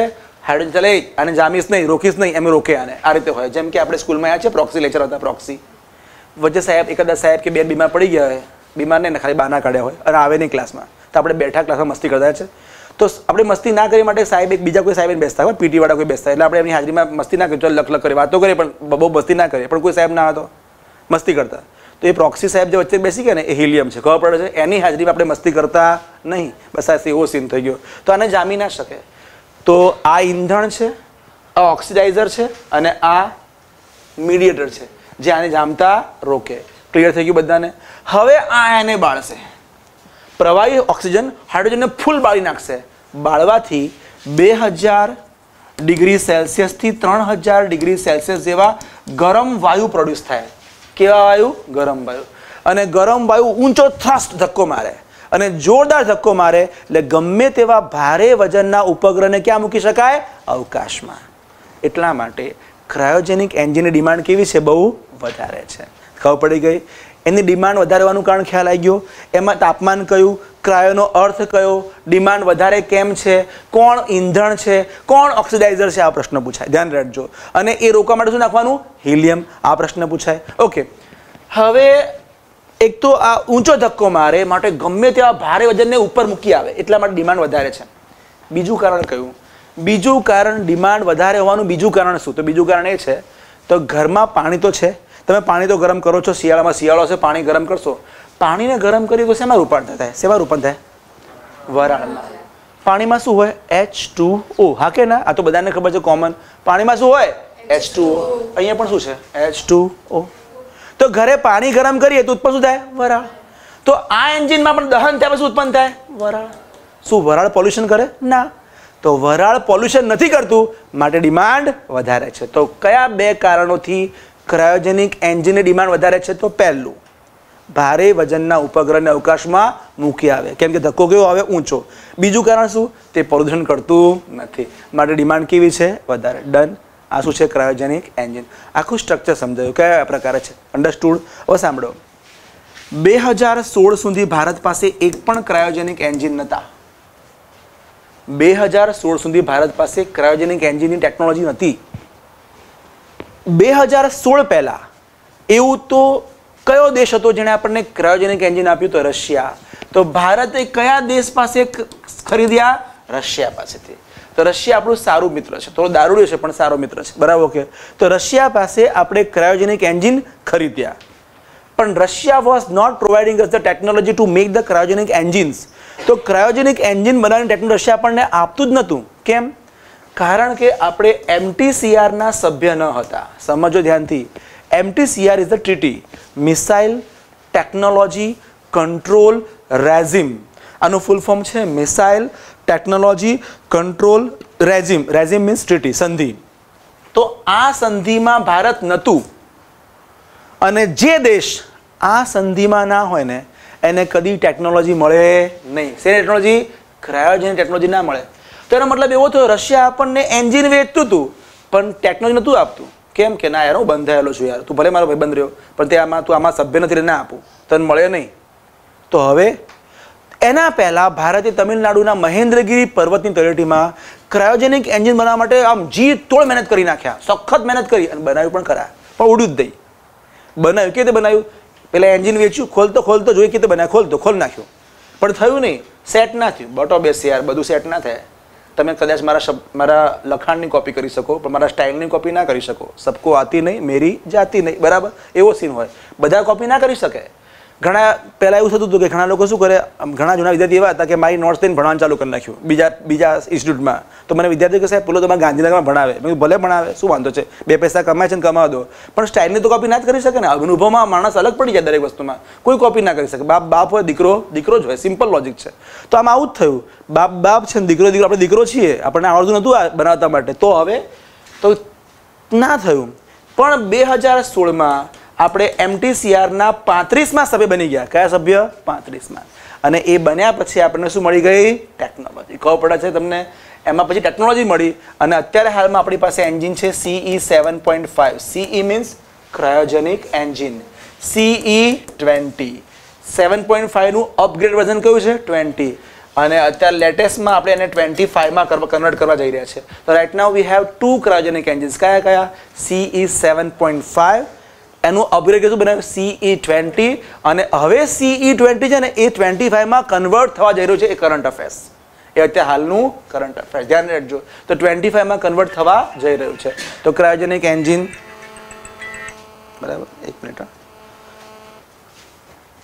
તો ક્રાયોજેનિક એન્જિન યાદ રાખજો. તો ક્રાયોજેનિક એન્જિન કયા પ્રકાર છે મેં તમને જણાવ્યું. તો CE seven point five CE twenty CE twenty five done છે. ચલો બધાને ખબર પડી ગઈ. ક્લિયર છે? બોલો, ચલો બટાય બોલો. ક્રાયોજેનિક એન્જિનમાં ક્રાયો એટલે શું? Which temperature is known as cryo temperature અથવા minus two thirty degree Fahrenheit okay ચલો. પછી એમાં ઈંધણ શું હોય? Liquid hydrogen L means liquid L ના આપી તો પ્રવાહી લખ્યું હશે. પછી ઓક્સિડાઇઝર કયું હોય? લિક્વિડ ઓક્સિજન પ્રવાહી હાઇડ્રોજન અતિ નીચા તાપમાને પ્રવાહી સ્વરૂપમાં હોય. એની હાજરી બધું ઠરી જાય. તો એ ઠરતું અટકાવવા માટે શું નાખવાનું? હિલિયમ. હિલિયમ કેવો વાયુ છે? નિષ્ક્રિય. નિષ્ક્રિય વાયુ છે. બરાબર? ઓકે. અચ્છા, દહન થયા પછી કેટલા ટેમ્પરેચર તાપમાન ઉત્પન્ન થાય? બે હજારથી ત્રણ હજાર. ક્રાયોજેનિકની ડિમાન્ડ કેમ વધારે છે? કારણ કે પ્રદૂષણ મુક્ત છે. બીજું, ભારે વજનના અવકાશમાં લઈ જઈ શકે. ભારતને કયા દેશે ક્રાયોજેનિક વેચ્યા હતા ટેકનોલોજી કેમ નથી આપી? સભ્ય ન હતા. કઈ સાલમાં આપણે એમડી સાહેબ બન્યા? સોળમાં. કયા નંબરના બન્યા? પાંત્રીસમાં. પછી આપણને આંશિક ટેકનોલોજી મળી. હાલમાં કયા એન્જિન છે આપણી પાસે? CE seven point five CE twenty પણ ટ્વેન્ટી ફાઈવ આપણે બનાવવા હજુ જઈ રહ્યા છે બનાવ્યું નથી. ડન કન્સેપ્ટ ક્લિયર છે. કઈ સાલમાં ભારતનો અવકાશ વિભાગ ઘડાયો? Seventy two department of space seventy two space commission seventy two ટલ્સ ટલ્સ 63 Incospar 62 first country in the space, Russia. Russia, okay. સારું what is the new name of Incospar ISRO. ISRO જૂનું નામ શું ઇન્કોસ્પાર ડન છે. આટલો કન્સેપ્ટ ક્લિયર બધાને? Okay ચલો it is the revision method તો જોયું મિત્રો, સરે એટલા ઓછા સમયમાં એસટીઆઈના ટોપિકની તમે તમને કેવી સારી રીતે માહિતી આપી? તો આવા જ દરેક ફેકલ્ટી દ્વારા દરેક વિષયને તૈયાર કઈ રીતે કરવા અને એસટીઆઈની પ્રિલિમરી પરીક્ષા આટલા ટૂંકા સમયમાં પાસ કઈ રીતે કરવી? આની રણનીતિ મેળવવા, આની સાચી દિશા મેળવવા, આનું માર્ગદર્શન મેળવવા માટે લિબર્ટી કરિયર એકેડમી દ્વારા ગુજરાતની સર્વશ્રેષ્ઠ અનુભવી ફેકલ્ટી ટીમ દ્વારા એસટીઆઈની નવી બેચ તારીખ નવમી સપ્ટેમ્બરથી શરૂ થઈ રહી છે. આ બેચની અંતર્ગત તમને ગુજરાતની અનુભવી ફેકલ્ટીના ડેઇલી લેક્ચર મળશે. લેક્ચર બાદ તમને ટેસ્ટનું આયોજન કરવામાં આવશે. લિબર્ટી પબ્લિકેશનનું સારામાં સારું મટીરિયલ આપવામાં આવશે. યુનિટ ટેસ્ટ લેવામાં આવશે full mock test offline reading facility અને સાથે સાથે જે વિદ્યાર્થી મિત્રો ઓફલાઈન બેચમાં જોડાય છે તેના માટે ઓનલાઈન કોર્સ ફ્રીમાં છે. અને મિત્રો, તારીખ નવમી સપ્ટેમ્બર સુધી એડમિશન લેનાર વિદ્યાર્થીઓનું દસ હજાર રૂપિયા જેટલું ડિસ્કાઉન્ટ પણ આપવામાં આવે છે. તો જે વિદ્યાર્થીઓ આ વખતે એસટીઆઈ બનવાનું સપનું જોઈ રહ્યા છે, એના માટેની આ એક લિબર્ટી કરિયર એકેડમી દ્વારા જોરદાર બેચ લઈને આવી રહી છે. તો જે વિદ્યાર્થીઓને એસટીઆઈ બનવું છે, જલ્દીથી આ બેચમાં જોડાઓ. સ્ક્રીન પર દેખાતા નંબરનો સંપર્ક કરો. નવમી સપ્ટેમ્બર પહેલાં એડમિશન લઈ ડિસ્કાઉન્ટ મેળવો અને એસટીઆઈ બનવાનું સપનું સાકાર કરો. જય હિન્દ. જય ભારત, વંદે માતરમ. આવું જાતે ઘરે કરી શકાય. અત્યારે છૂટે પછી જાઓ ને તો કે, આ શું હતું સાહેબ? પહેલાં શું બોલે? આવું તો રિકોલ કરવાનું, તો આવડી જાય. બરાબર? ઓકે, બીજી વાતો નહીં કરવાની. કાનમાં ભરે મ્યુઝિક સાંભળો, તો ના ચાલે. બરાબર? રિકોલ કરવાનું તો આવડશે. ડન છે? ચલો. આ થઈ ગઈ તમારી ક્રાયોજેનિક એન્જિન નેક્સ્ટ પોઈન્ટ છે લાંગરાજ બિંદુ. કયો પોઈન્ટ છે? લાંગરાજ બિંદુ. અત્યારે હાલમાં ચર્ચામાં છે. લાંગરાજ બિંદુ હાલમાં ચર્ચામાં છે. તો લાંગરાજ બિંદુ કોને કહેવાય? તો સાંભળો, આ છે અર્થ. બરાબર? વ્યાખ્યા ફિગર આઉટ કરી સમજાવું છું. આ છે અર્થ, આ છે સન સૂર્ય. અર્થ અને સનની વચ્ચે અથવા કોઈ પણ જગ્યાએ આવેલું એવું બિંદુ કે જ્યાં મૂકેલી વસ્તુ પર સૂર્યનું અને પૃથ્વીનું ગ્રેવિટેશનલ ફોર્સ કેવું હોય? ઇક્વલ હોય. કેવું હોય? સરખું હોય. તો પૃથ્વી સપાટીથી અમુક ઊંચાઈએ આવેલું એવું બિંદુ કે જ્યાં મૂકેલી વસ્તુ ઉપર સૂર્યનું અને પૃથ્વીનું ગ્રેવિટેશનલ ફોર્સ કેવું હોય? સમાન હોય. ગુરુત્વાકર્ષણ કેવું હોય? સમાન હોય. અને શું કહેવાય? લાંગરાજ બિંદુ. ક્લિયર છે? ડેફિનેશન લખવી છે? લખો. પૃથ્વી સપાટીથી આવેલું, પૃથ્વી સપાટીથી અમુક ઊંચાઈએ આવેલું એવું બિંદુ, પૃથ્વી સપાટીથી અમુક ઊંચાઈએ આવેલું એવું બિંદુ એવું બિંદુ.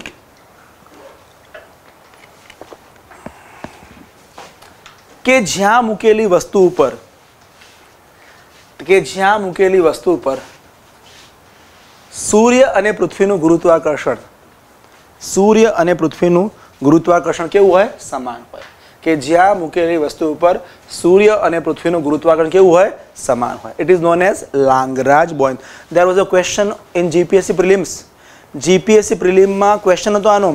Which statement is true about Lagrange point નીચેનામાંથી કયું વિધાન લાંગરાજ બિંદુ માટે સત્ય છે? પ્રશ્ન કયો છે? હમણાં સમજાવું. પહેલાં સમજી લઈએ કે લાંગરાજ શું છે. બરાબર ઓકે તમને ખ્યાલ તો આવી ગયો કે શું કહેવા માંગે છે ઓકે હવે સારું, સમજો. What is Lagrange that we have to go to see that Lagrange કોને કહેવાય આપણે જોઈએ. અને આ આનું અત્યારે મેં કીધું, દરેક વસ્તુની કરંટ અફેર્સ છે. દરેક વસ્તુનું કરંટ અફેર્સ છે. બરાબર ઓકે તો ધ્યાન આપજો. બરાબર? અહીં ધ્યાન બધાનું. બરાબર. ચલો આ લઈએ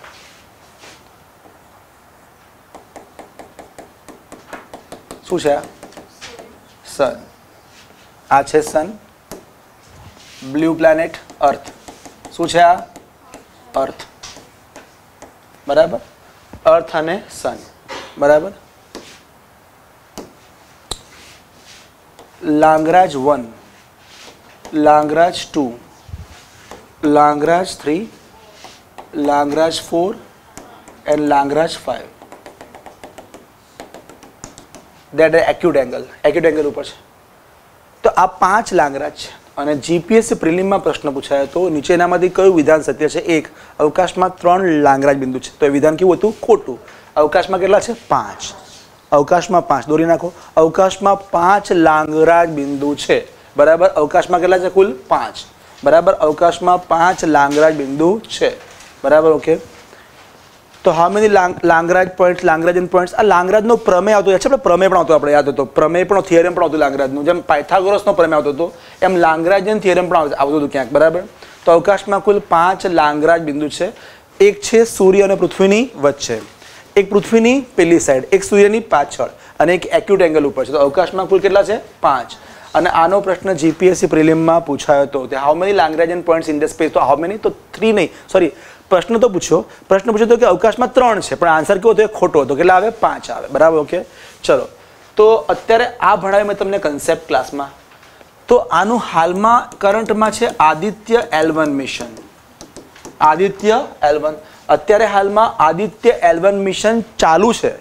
આદિત્ય મીન્સ સૂર્ય. તો Aditya L one mission is the first mission of ISRO for research of sun and Aditya L one mission એ ભારતનો કે ઇસરોનો પ્રથમ મિશન છે જે લાંગરાજ બિંદુ પર ગયું હોય. કયા બિંદુ પર? લાંગરાજ. કયા બિંદુ પર? લાંગરાજ વન ઉપર છે અત્યારે. અને સેટલ થઈ ગયું છે. લાંગરાજ વન ઉપર એ સેટલ્ડ થઈ ગયું છે. શેના માટે? To examine the sun's photosphere no not the photosphere સૂર્યની સપાટી શું કહેવાય? ફોટોસ્ફિયર કહેવાય. તો સૂર્યની સપાટી નહીં, પણ સૂર્યની સપાટીની આસપાસ આવું વ્હાઇટ ક્લાઉડ છે. અને એ વ્હાઇટ ક્લાઉડને કહેવાય કોરોના નોટ ધ ડિસીઝ આને શું કહેવાય? કોરોના તો એ આ મિશન સૂર્યનો સપાટી નહીં, સૂર્યના કોરોનાનો અભ્યાસ કરવા માટે ગયું છે. કોરોના મતલબ એની આસપાસનું વ્હાઇટ ક્લાઉડ ધ્યાન રાખજો. તો Lagrange Aditya one mission is the mission to study the corona of sun it is the first mission of ISRO or India to uh, to observe the sun. It is the first mission which has settled on Langraj 1 point. તો આપણા ભારતનું પ્રથમ mission છે જે Lagrange one ઉપર ગયું હોય સૂર્યના અભ્યાસનું પ્રથમ મિશન છે અને કોના અભ્યાસ માટે? કોરોનાના અભ્યાસ માટે. સપાટીના નહીં કોના અભ્યાસ માટે? કોરોના. આપણે રિસેન્ટલી ચોઈસમાં જ ગયું મારા ખ્યાલથી. તમે કદાચ સાંભળ્યું હશે. તો જુઓ આ થઈ ગયો ટેકનોલોજી ક્લાસમાં ભણાવીએ એ. અને આ થઈ ગયું કરંટ અફેર્સ જે તમે જાતે કરવાનું આવે. ખબર પડે છે. પણ આપણે શું ચર્ચા કરતા હોઈએ છીએ કે આ રીતે છે. તો આ આ તમારે બે થઈ ગયું. એક ક્રાયોજેનિક એન્જિન બીજું શું ભણ્યા? લાંગરાજ બિંદુ. આટલું યાદ રાખજો ઓકે ચલો. એના પછી, એના પછીનો પોઈન્ટ આવે છે કે ભારત ભારત જે છે ને, એની પાસે પોતાનું કોઈ જીપીએસ નથી. બરાબર? જીપીએસ નહોતું. અત્યારે હાલ પણ પાર્શિયલ છે. અત્યારે હાલમાં નથી. તો એક મિશન છે આપણું I R N S S બરાબર? આઈઆરએનએસએસ ઉપગ્રહ નામ. સેટેલાઇટ નેમ છે આઈઆરએનએસએસ બરાબર? Okay I R N S S જે છે ને એનું નામ છે Indian regional navigation satellite system Indian regional navigation satellite system ગુજરાતીમાં કહેવાય ભારતીય ક્ષેત્રીય દિશા નિર્દેશક દિશા નિર્દેશક ઉપગ્રહ પ્રણાલી આનું પૂરું નામ છે ગુજરાતીમાં. ભારતીય ક્ષેત્રીય દિશા નિર્દેશક ઉપગ્રહ પ્રણાલી. તો I R N S S મતલબ Indian regional navigation satellite system actually આ કેમ ડેવલપ થયું એ આપણે જોઈએ. આનું ડેવલપિંગનું કારણ શું હતું? અને આના વિકાસનું કારણ શું હતું? What was the reason behind this તો નાઇન્ટીન નાઇન્ટી નાઇનમાં કારગિલ વોર થયું હતું. કારગિલ વોર યાદ છે? ઓગણીસો નવ્વાણુંમાં કારગિલ યુદ્ધ થયું હતું. બરાબર? ઓકે આપણે જન્મી ચૂક્યા હતા એ વખતે. તો ઓગણીસો ઘણા નહીં જન્મ્યા હોય ઘણા જન્મ્યા હશે. બરાબર? ઓકે ઘણા ઓન ધ વે હશે. આમ બેગ લઈને કે ચલો જઈએ પૃથ્વી ઉપર જીપીએસસી આપવા. ઓકે તો ઓગણીસો નવ્વાણુંમાં કારગિલ યુદ્ધ થયું હતું. તો કારગિલ વોર તમે શેરસિંગ શેરશાહ મૂવી જોયું હતું પહેલાંનું? એક મૂવી હતું આઈ થિંક એમાં પહેલાં મારી કારગિલનું જ હતું સીન હિરોઈન કોણ હતી? હિરોઈન કેવું યાદ રહી ગયું હિરોઈન કેવું યાદ રહ્યું તમને કેમ યાદ છે? ખબર છે? કારણ કે તમે ઇન્ટરેસ્ટથી જુઓ છો. ઇન્ટરેસ્ટથી કોઈ વસ્તુ કરવામાં આવે તો એ મેમરીમાં લોંગ ટર્મ સેવ થાય. તેનો મતલબ એવો થયો કે ફોર્મ ભરવાથી પાસ ના થવાય. ઇન્ટરેસ્ટથી વાંચવાથી કે લખવાથી જ પાસ થવાય. ખબર પડે તમને ભણવાની સાથે બધા કેટલાય લોજિક છે આ બધી વસ્તુના. કિયાર અડવાણી મને પણ યાદ હતું બોલ્યો નહીં, કેમ કે હું શું કામ બોલું? બરાબર, તમારા મોઢે સાંભળ્યું હતું. ઓકે તો ક્યારમાં મતલબ છે કે, તો શેરશાહ મૂવીમાં સીન શું હતો ખબર છે? પેલા ઉપરથી મિસાઇલ નાખે છે. તો આખું આખું પેલું બધા મરી જાય સૈનિકો મરી જાય સીન હતો ખબર હતો એમાં પેલો મરી જાય મારા ખ્યાલથી. તો ત્યારે ભારતને થયું કે સાલું આ ના ચાલે, કે આપણું પોતાનું સિસ્ટમ તો હોવી જોઈએ. તો એકચ્યુઅલી રીઝન શું હતું કે ઓગણીસો નવ્વાણુંમાં ભારત પાસે પોતાની કોઈ જીપીએસ ગ્લોબલ પોઝિશનિંગ સિસ્ટમ નથી. અને આપણે રેન્ટ ઉપર અમેરિકાની જીપીએસને વાપરતા હતા. રેન્ટ ઉપર મતલબ ભાડું આપીને. And that time there was an infiltration મતલબ બોર્ડર ઉપર ઘૂસણખોરી થઈ રહી હતી. તમે જો ધ્યાનથી ભણી રહ્યા તો તમને બે લેંગ્વેજમાં સમજાઈ રહ્યો છું. બે બે લેંગ્વેજમાં બોલી રહ્યો છું. ધ્યાન રાખજો. બરાબર? ઓકે તો ઇન્ફિલ્ટ્રેશનનો મતલબ થાય ઘૂસણખોરી. There was an infiltration and we had asked USA for the information of this infiltration આપણે આ ઘૂસણખોરીની એને માહિતી માંગી કે આપો ને ઘોષણખોરીની માહિતી આપો ને. તો પહેલાં શું કે ના હો, ના મળે. વાહ, પૈસા આપવાના. અને માહિતી ના મળે. આ કેવું કહેવાય? જેમ કે તમે ઘર ભાડે રાખ્યું, પણ કે ટોયલેટ યુઝ નહીં કરવાનું. એવું ચાલે? તો આ થોડી ચાલે. તો આપણે કીધું ના ચાલે. આ વસ્તુ ના ચાલે. પછી આપણે કીધું, યાર, ખોટી વાત છે કે war is the sensitive issue તો આવી યુદ્ધ જેવી સંવેદનશીલ સ્થિતિમાં બીજા દેશની જીપીએસ ઉપર આધાર રાખો શું કહેવાય? અયોગ્ય કહેવાય. માટે પોતાની જીપીએસ તો હોવી જ જોઈએ. ખ્યાલ આવ્યો છે? જીપીએસ વિસ્તાર પાછળનું રીઝન ખબર પડી? આવો અનુભવ થયો. દરેક માણસ લાઈફમાં પોતાનું મકાન ક્યારે રાખે? જ્યારે ભાડાના મકાનમાં અપમાન થયું ત્યારે રાખે. ખબર પડે તમને? લોજિક આ છે. એટલે અપમાન પણ કેવું કહેવાય? પોઝિટિવ કહેવાય. એને પણ પોઝિટિવ લેવું પડે. તો જ થાય. તમને કંઈ આવડતું નહીં. હવે આવડશે. આવું હોવું જોઈએ. તું તો કંઈ નહીં કરે. હવે કરી બતાવીશ. આવું હોવું જોઈએ. તું તો કરી હા, નહીં કરું, જાઓ. એવું ના હોવું જોઈએ, બરાબર? તું કર ને, એમ ના કહેવાય. હામે જેમ તું કર્યું ના કહેવાય. ઘણા આવા હોય. તું ભણ ને, મને કે ભણવાનું? તું ભણતો નહીં તો હવે ભણી બતાવીશ. આવું હોવું જોઈએ, બરાબર કેમ?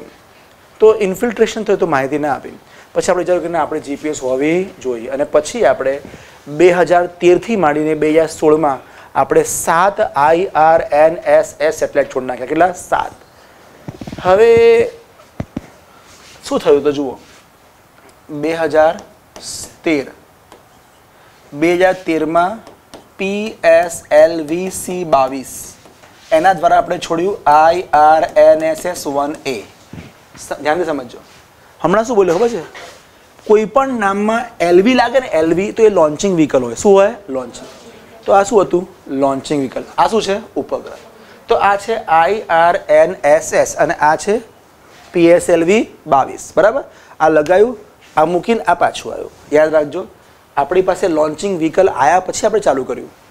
પછી P S L V C ચોવીસ, એના દ્વારા આપણે છોડ્યું I R N S S one B પછી P S L V C છવ્વીસ, એના દ્વારા છોડ્યું આપણે I R N S S one C પછી બોલો ફટાફટ આગળ શું હશે? P S L V C સરસ સત્યાવીસ બરાબર ઓકે આના I R N S S one D એવું કે બેકીમાં નહીં જવાનું બરાબર ઓકે હા કંઈ સાહેબે બેકી પકડ્યું ના વિચારતા કંઈ રિઝનિંગ નહીં ઓકે બરાબર ઓકે પછી P S L V C બોલો હવે શું આવશે એકત્રીસ શું આવશે એકત્રીસ I R N S S one A B C D પછી શું આવશે ઈ પછી બોલો હવે P S L V C સરસ બત્રીસ બરાબર okay I R N S S one F guys I am enjoying the class are you I am enjoying the class એનો મતલબ એવો થયો કે હું આનંદથી જ ભણાવું છું. અને મને આનંદથી જ ભણવું ગમે. એટલે અમુક લોકો એવું માનતા હોય સ્ટુપિડ્સ કે ઉતરેલી ઘડીને બેસે તો પાસ થવાય. એવું ના હોય.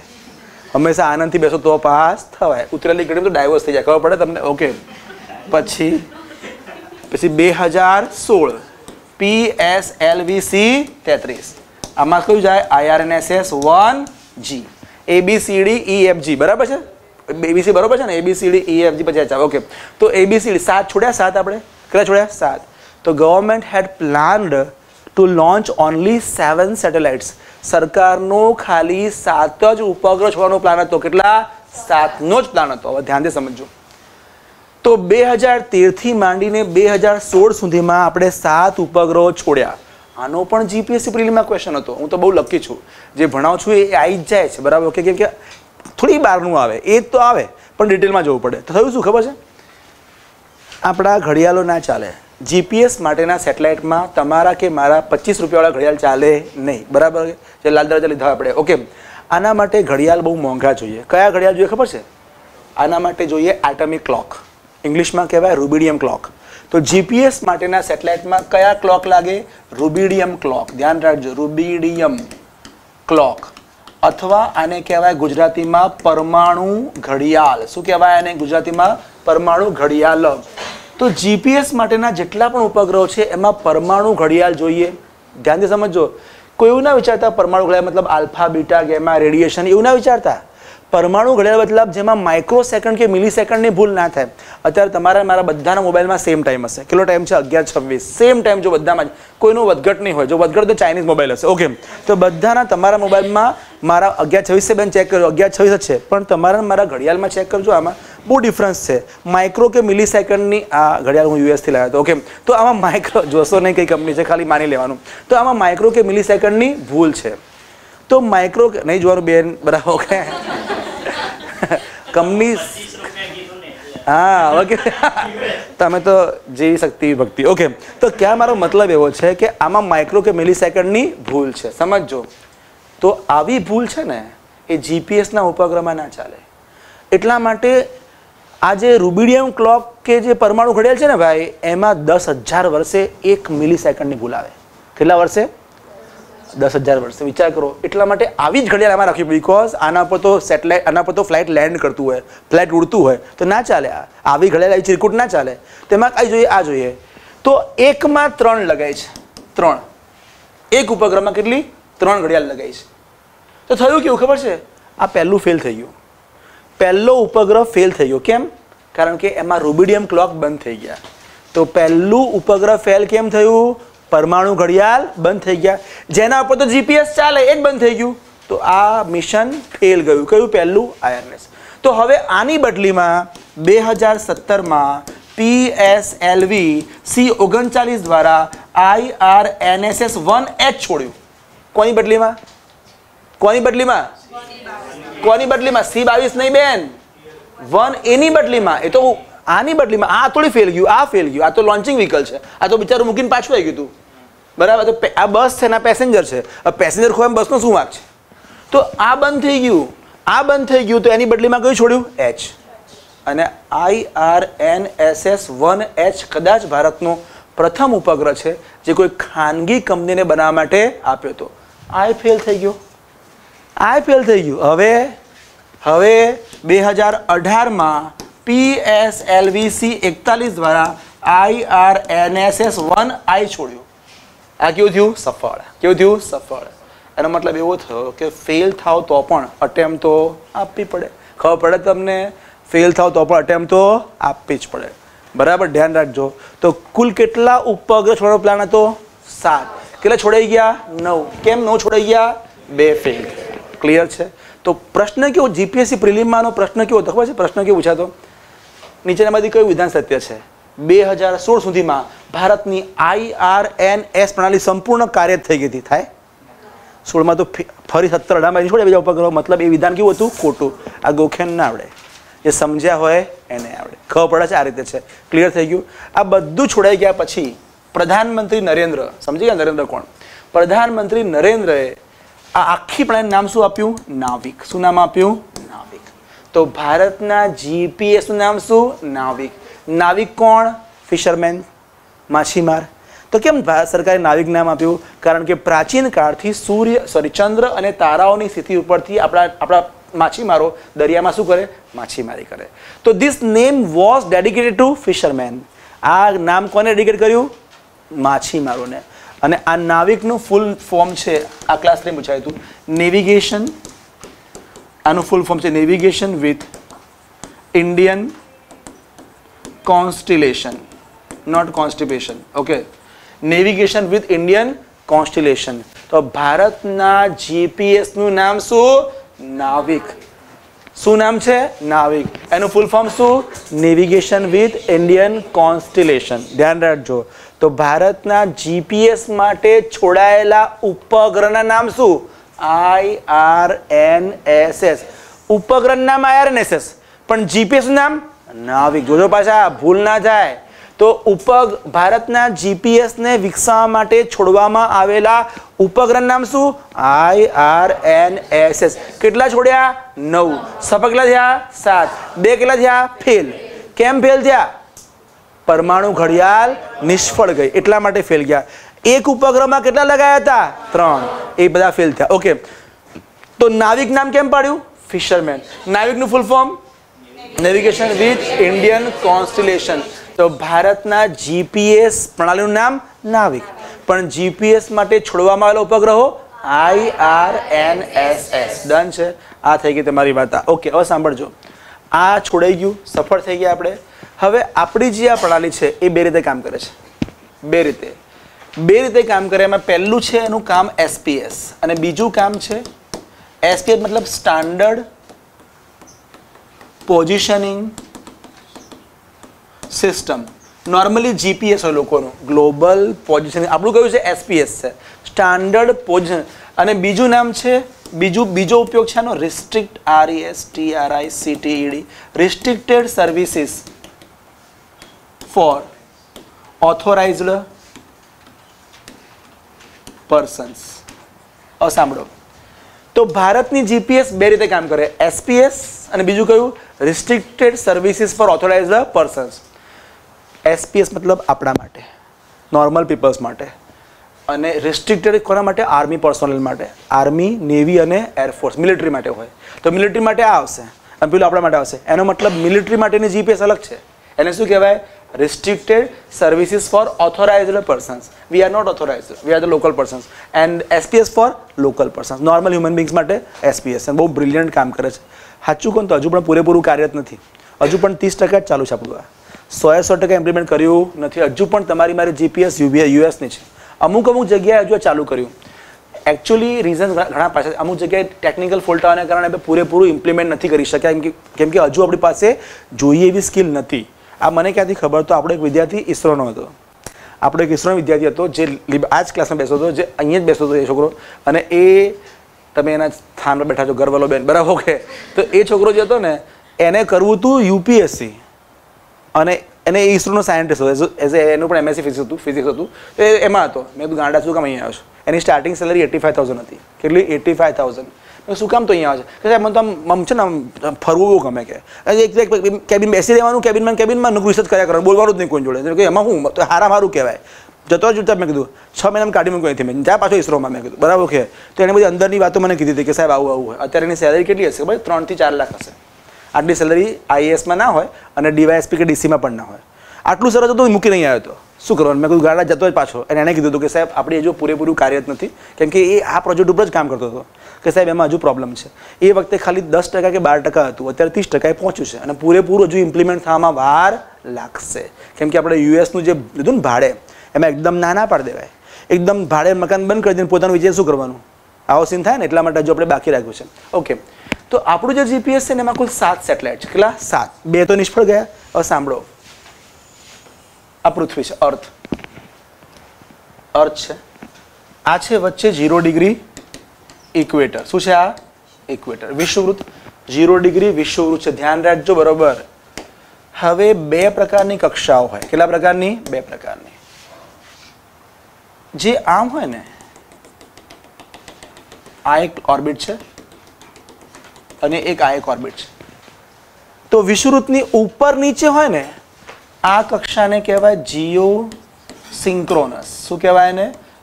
Geosynchronous orbit. અને ગુજરાતીમાં કહેવાય ભૂસંક્રાંતિ કક્ષા. શું કહેવાય એને ગુજરાતીમાં? ભૂસંક્રાંતિ કક્ષા. તો જે કક્ષા વિષુવવૃત્તથી ઉપર કે નીચે હોય, એને શું કહેવાય? જીઓ સિંક્રોનસ પણ જ્યારે આ જ કક્ષા ફરતી ફરતી એક્ઝેટ વચ્ચે આવે, આ ફરતી ફરતી આમ થાય, તો આને કહેવાય જીઓ સ્ટેશનરી. શું કહેવાય ને જીઓ સ્ટેશનરી ઓર્બિટ અને ગુજરાતીમાં કહેવાય ભૂ સ્થિર કક્ષા. આને ગુજરાતીમાં કહેવાય ભૂ સંક્રાંતિ કક્ષા. તો બે પ્રકારની કક્ષા હોય. બરાબર? તો વિષુવૃત્તિ ઉપર કે નીચે હોય? તો શું કહેવાય? પણ જ્યારે એક્ઝેક્ટ વિષુવૃત્તિ ઉપર આ શું કહેવાય? જીઓ સ્ટેશનરી કક્ષાઓના પ્રકાર ડિટેલમાં નથી ભણાયા. ખાલી અત્યારે કહું છું બિકોઝ એમાં બહુ વાર લાગે. એમાં બે કલાક જતા રહે. એટલા માટે મેં નોર્મલ નોર્મલ ટોપિક તમને લીધા એ પછી ભણીશું આપણે. બરાબર ઓકે હવે આ રીત થયું. હવે શું સાહેબ? આ કેમ તમે દોર્યું? તો સાંભળો. કુલ સાત સેટેલાઇટ હતા ને, સાતમાંથી એક, બે, ત્રણ, ચાર. સાતમાંથી ચાર ઉપગ્રહો જીઓ સિંક્રોનસમાં છે અને ત્રણ ઉપગ્રહો જીઓ સ્ટેશનરીમાં છે. આ બહુ ઇમ્પોર્ટન્ટ પોઈન્ટ છે, લખી નાખજો. કુલ સાતમાંથી ચાર ઉપગ્રહો જીઓ સિંક્રોનસ કક્ષામાં મૂકવામાં આવ્યા છે. કુલ સાતમાંથી ચાર ઉપગ્રહો જીઓ સિંક્રોનસ કક્ષામાં મૂકવામાં આવ્યા છે. અને ત્રણ ઉપગ્રહો છે મૂકવામાં આવે છે? જીઓ સ્ટેશનરીમાં. ડન છે? અને ત્રણ ઉપગ્રહો જીઓ સ્ટેશનરીમાં મૂકવામાં આવ્યા છે. આ વિધાનોમાં પ્રશ્ન પૂછાય, વિધાનોમાં, કે નીચેનામાંથી કયું વિધાન શક્ય છે સાતે સાત ઉપગ્રહો જીઓ સ્ટેશનરી મૂકવામાં આવ્યા છે, પહેલું વિધાન. અને બીજું વિધાન એવું આવે કે સાતમાંથી ત્રણ ઉપગ્રહો જીઓ સ્ટેશનરીમાં અને ચાર જીઓ સિંધુ. તો કયું વિધાન સત્ય છે? ફક્ત એક, ફક્ત બે, એક અને બે, કે કે નહીં? તો જવાબ શું આવશે? ફક્ત બે. આવા વિધાન આવે. એટલે તમને આ કન્સેપ્ટ ક્લિયર હોવો જરૂરી છે. ડન છે બધાને ખ્યાલ આવી ગયો? આ ઇન્ટરનલ વાતો છે બધી આની. ચલો, આટલી વાત થઈ. તમને આટલું ખબર પડી ગઈ. સિંક્રોનસ કોને કહેવાય? વિષુવૃત્તથી ઉપર કે નીચે હોય. સ્ટેશનરી કોને કહેવાય? એક્ઝેક્ટ વિષુવૃત્તની ઉપર આવે ત્યારે. તો ખરેખર સ્ટેશનરી એ સિંક્રોનસનો જ ઉપગ્રહ છે. સિંક્રોનસ આમ હોય, ફરતું ફરતું વચ્ચે આવે ને ત્યારે શું કહેવાય? સ્ટેશનરી તો જીઓ સ્ટેશનરી કક્ષા એ જીઓ સિંક્રોનસનો જ ભાગ છે. એનો જ એક પ્રકાર છે. ધ્યાન રાખજો. એ પછી આવે, કક્ષાના પ્રકારમાં ડિટેલમાં ભણવાનો આવે. ચલો, આટલી વાત ખબર પડી ગઈ? હજુ આમાં ફેક્ટ છે. હજુ કયા ફેક્ટ છે? હજુ આમાં ફેક્ટ એ છે કે આ જે કક્ષા છે ને, આ મતલબ આ મતલબ આ જે ઓર્બિટ, આ જે જીપીએસ છે આપણું, એ કેટલું કવર અપ કરે તો જુઓ.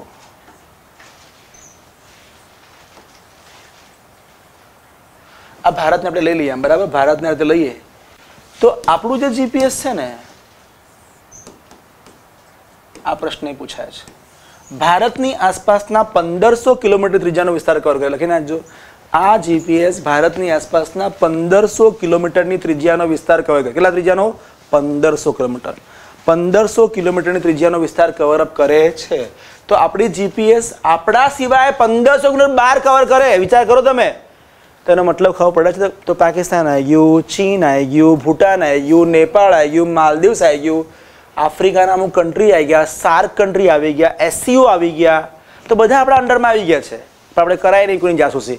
અમે કોઈની જાસૂસી નહીં કરતા કરીએ છીએ. પણ કહેવા નહીં કરીએ છીએ. અમે નહીં કરતા. એમ કહેવાનું. અમે કરતા નથી. બાકી ભારતમાં જાસૂસી કોણે ચાલુ કરી? ઇન્દિરાબેન ગાંધી. બરાબર ઓકે પાડોશીઓની ચંચુપાત કરવાનું કોણ ચાલુ કર્યું? ઇન્દુબા. કોણ ચાલુ કર્યું? ઇન્દુબા. બાજ કરે આપણા માટે તો. તો ઇન્દિરા ગાંધી ચાલુ કર્યું હતું. બાકી કોઈ દેશ જાસૂસી નહોતું કરતું, પણ આ બાએ શીખવાડ્યું. કરો કરો, અમે કરીએ, તમે કરો, એમ. બરાબર? ઓકે. આમ ચાલુ થયું. આના માટે તમારે પોલિટિક મળવું પડે મને. ઓકે, આ રીતે છે. તો આ રીતે સ્ટાર્ટ થયું. તો આટલી આટલી ઇન્ફોર્મેશન આપણે લઈ શકીએ છીએ. આપણી જીપીએસ બીજા કોઈ દેશ વાપરે ને, પૈસા આપીને તો પોસાય. હા કે ના? આપણે ગાડી લાવીએ અને બાજુવાળા કે, અમારા છોકરા મૂકતા હો તો આપણને પોસાય. હવે આપણે જીપીએસ ડેવલપ કરી નાખ્યું. પણ આપણી જીપીએસ પાકિસ્તાન યુઝ નહીં કરતું. એમ તો પહેલાં જ નફરત છે આપણાથી. એ તો ના જ કરે. ચીન કરે, આપણું ચીનને પોતાના જીપીએસ છે. પણ પાકિસ્તાન ચીનનું જીપીએસ વાપરે છે.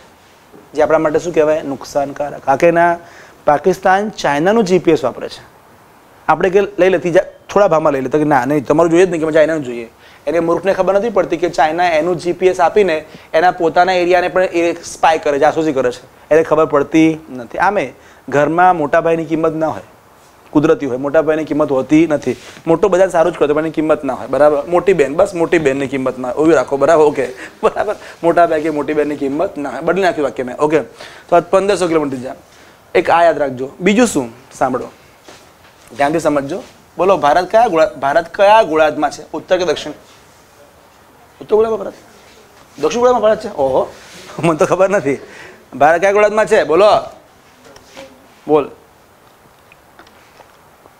બતા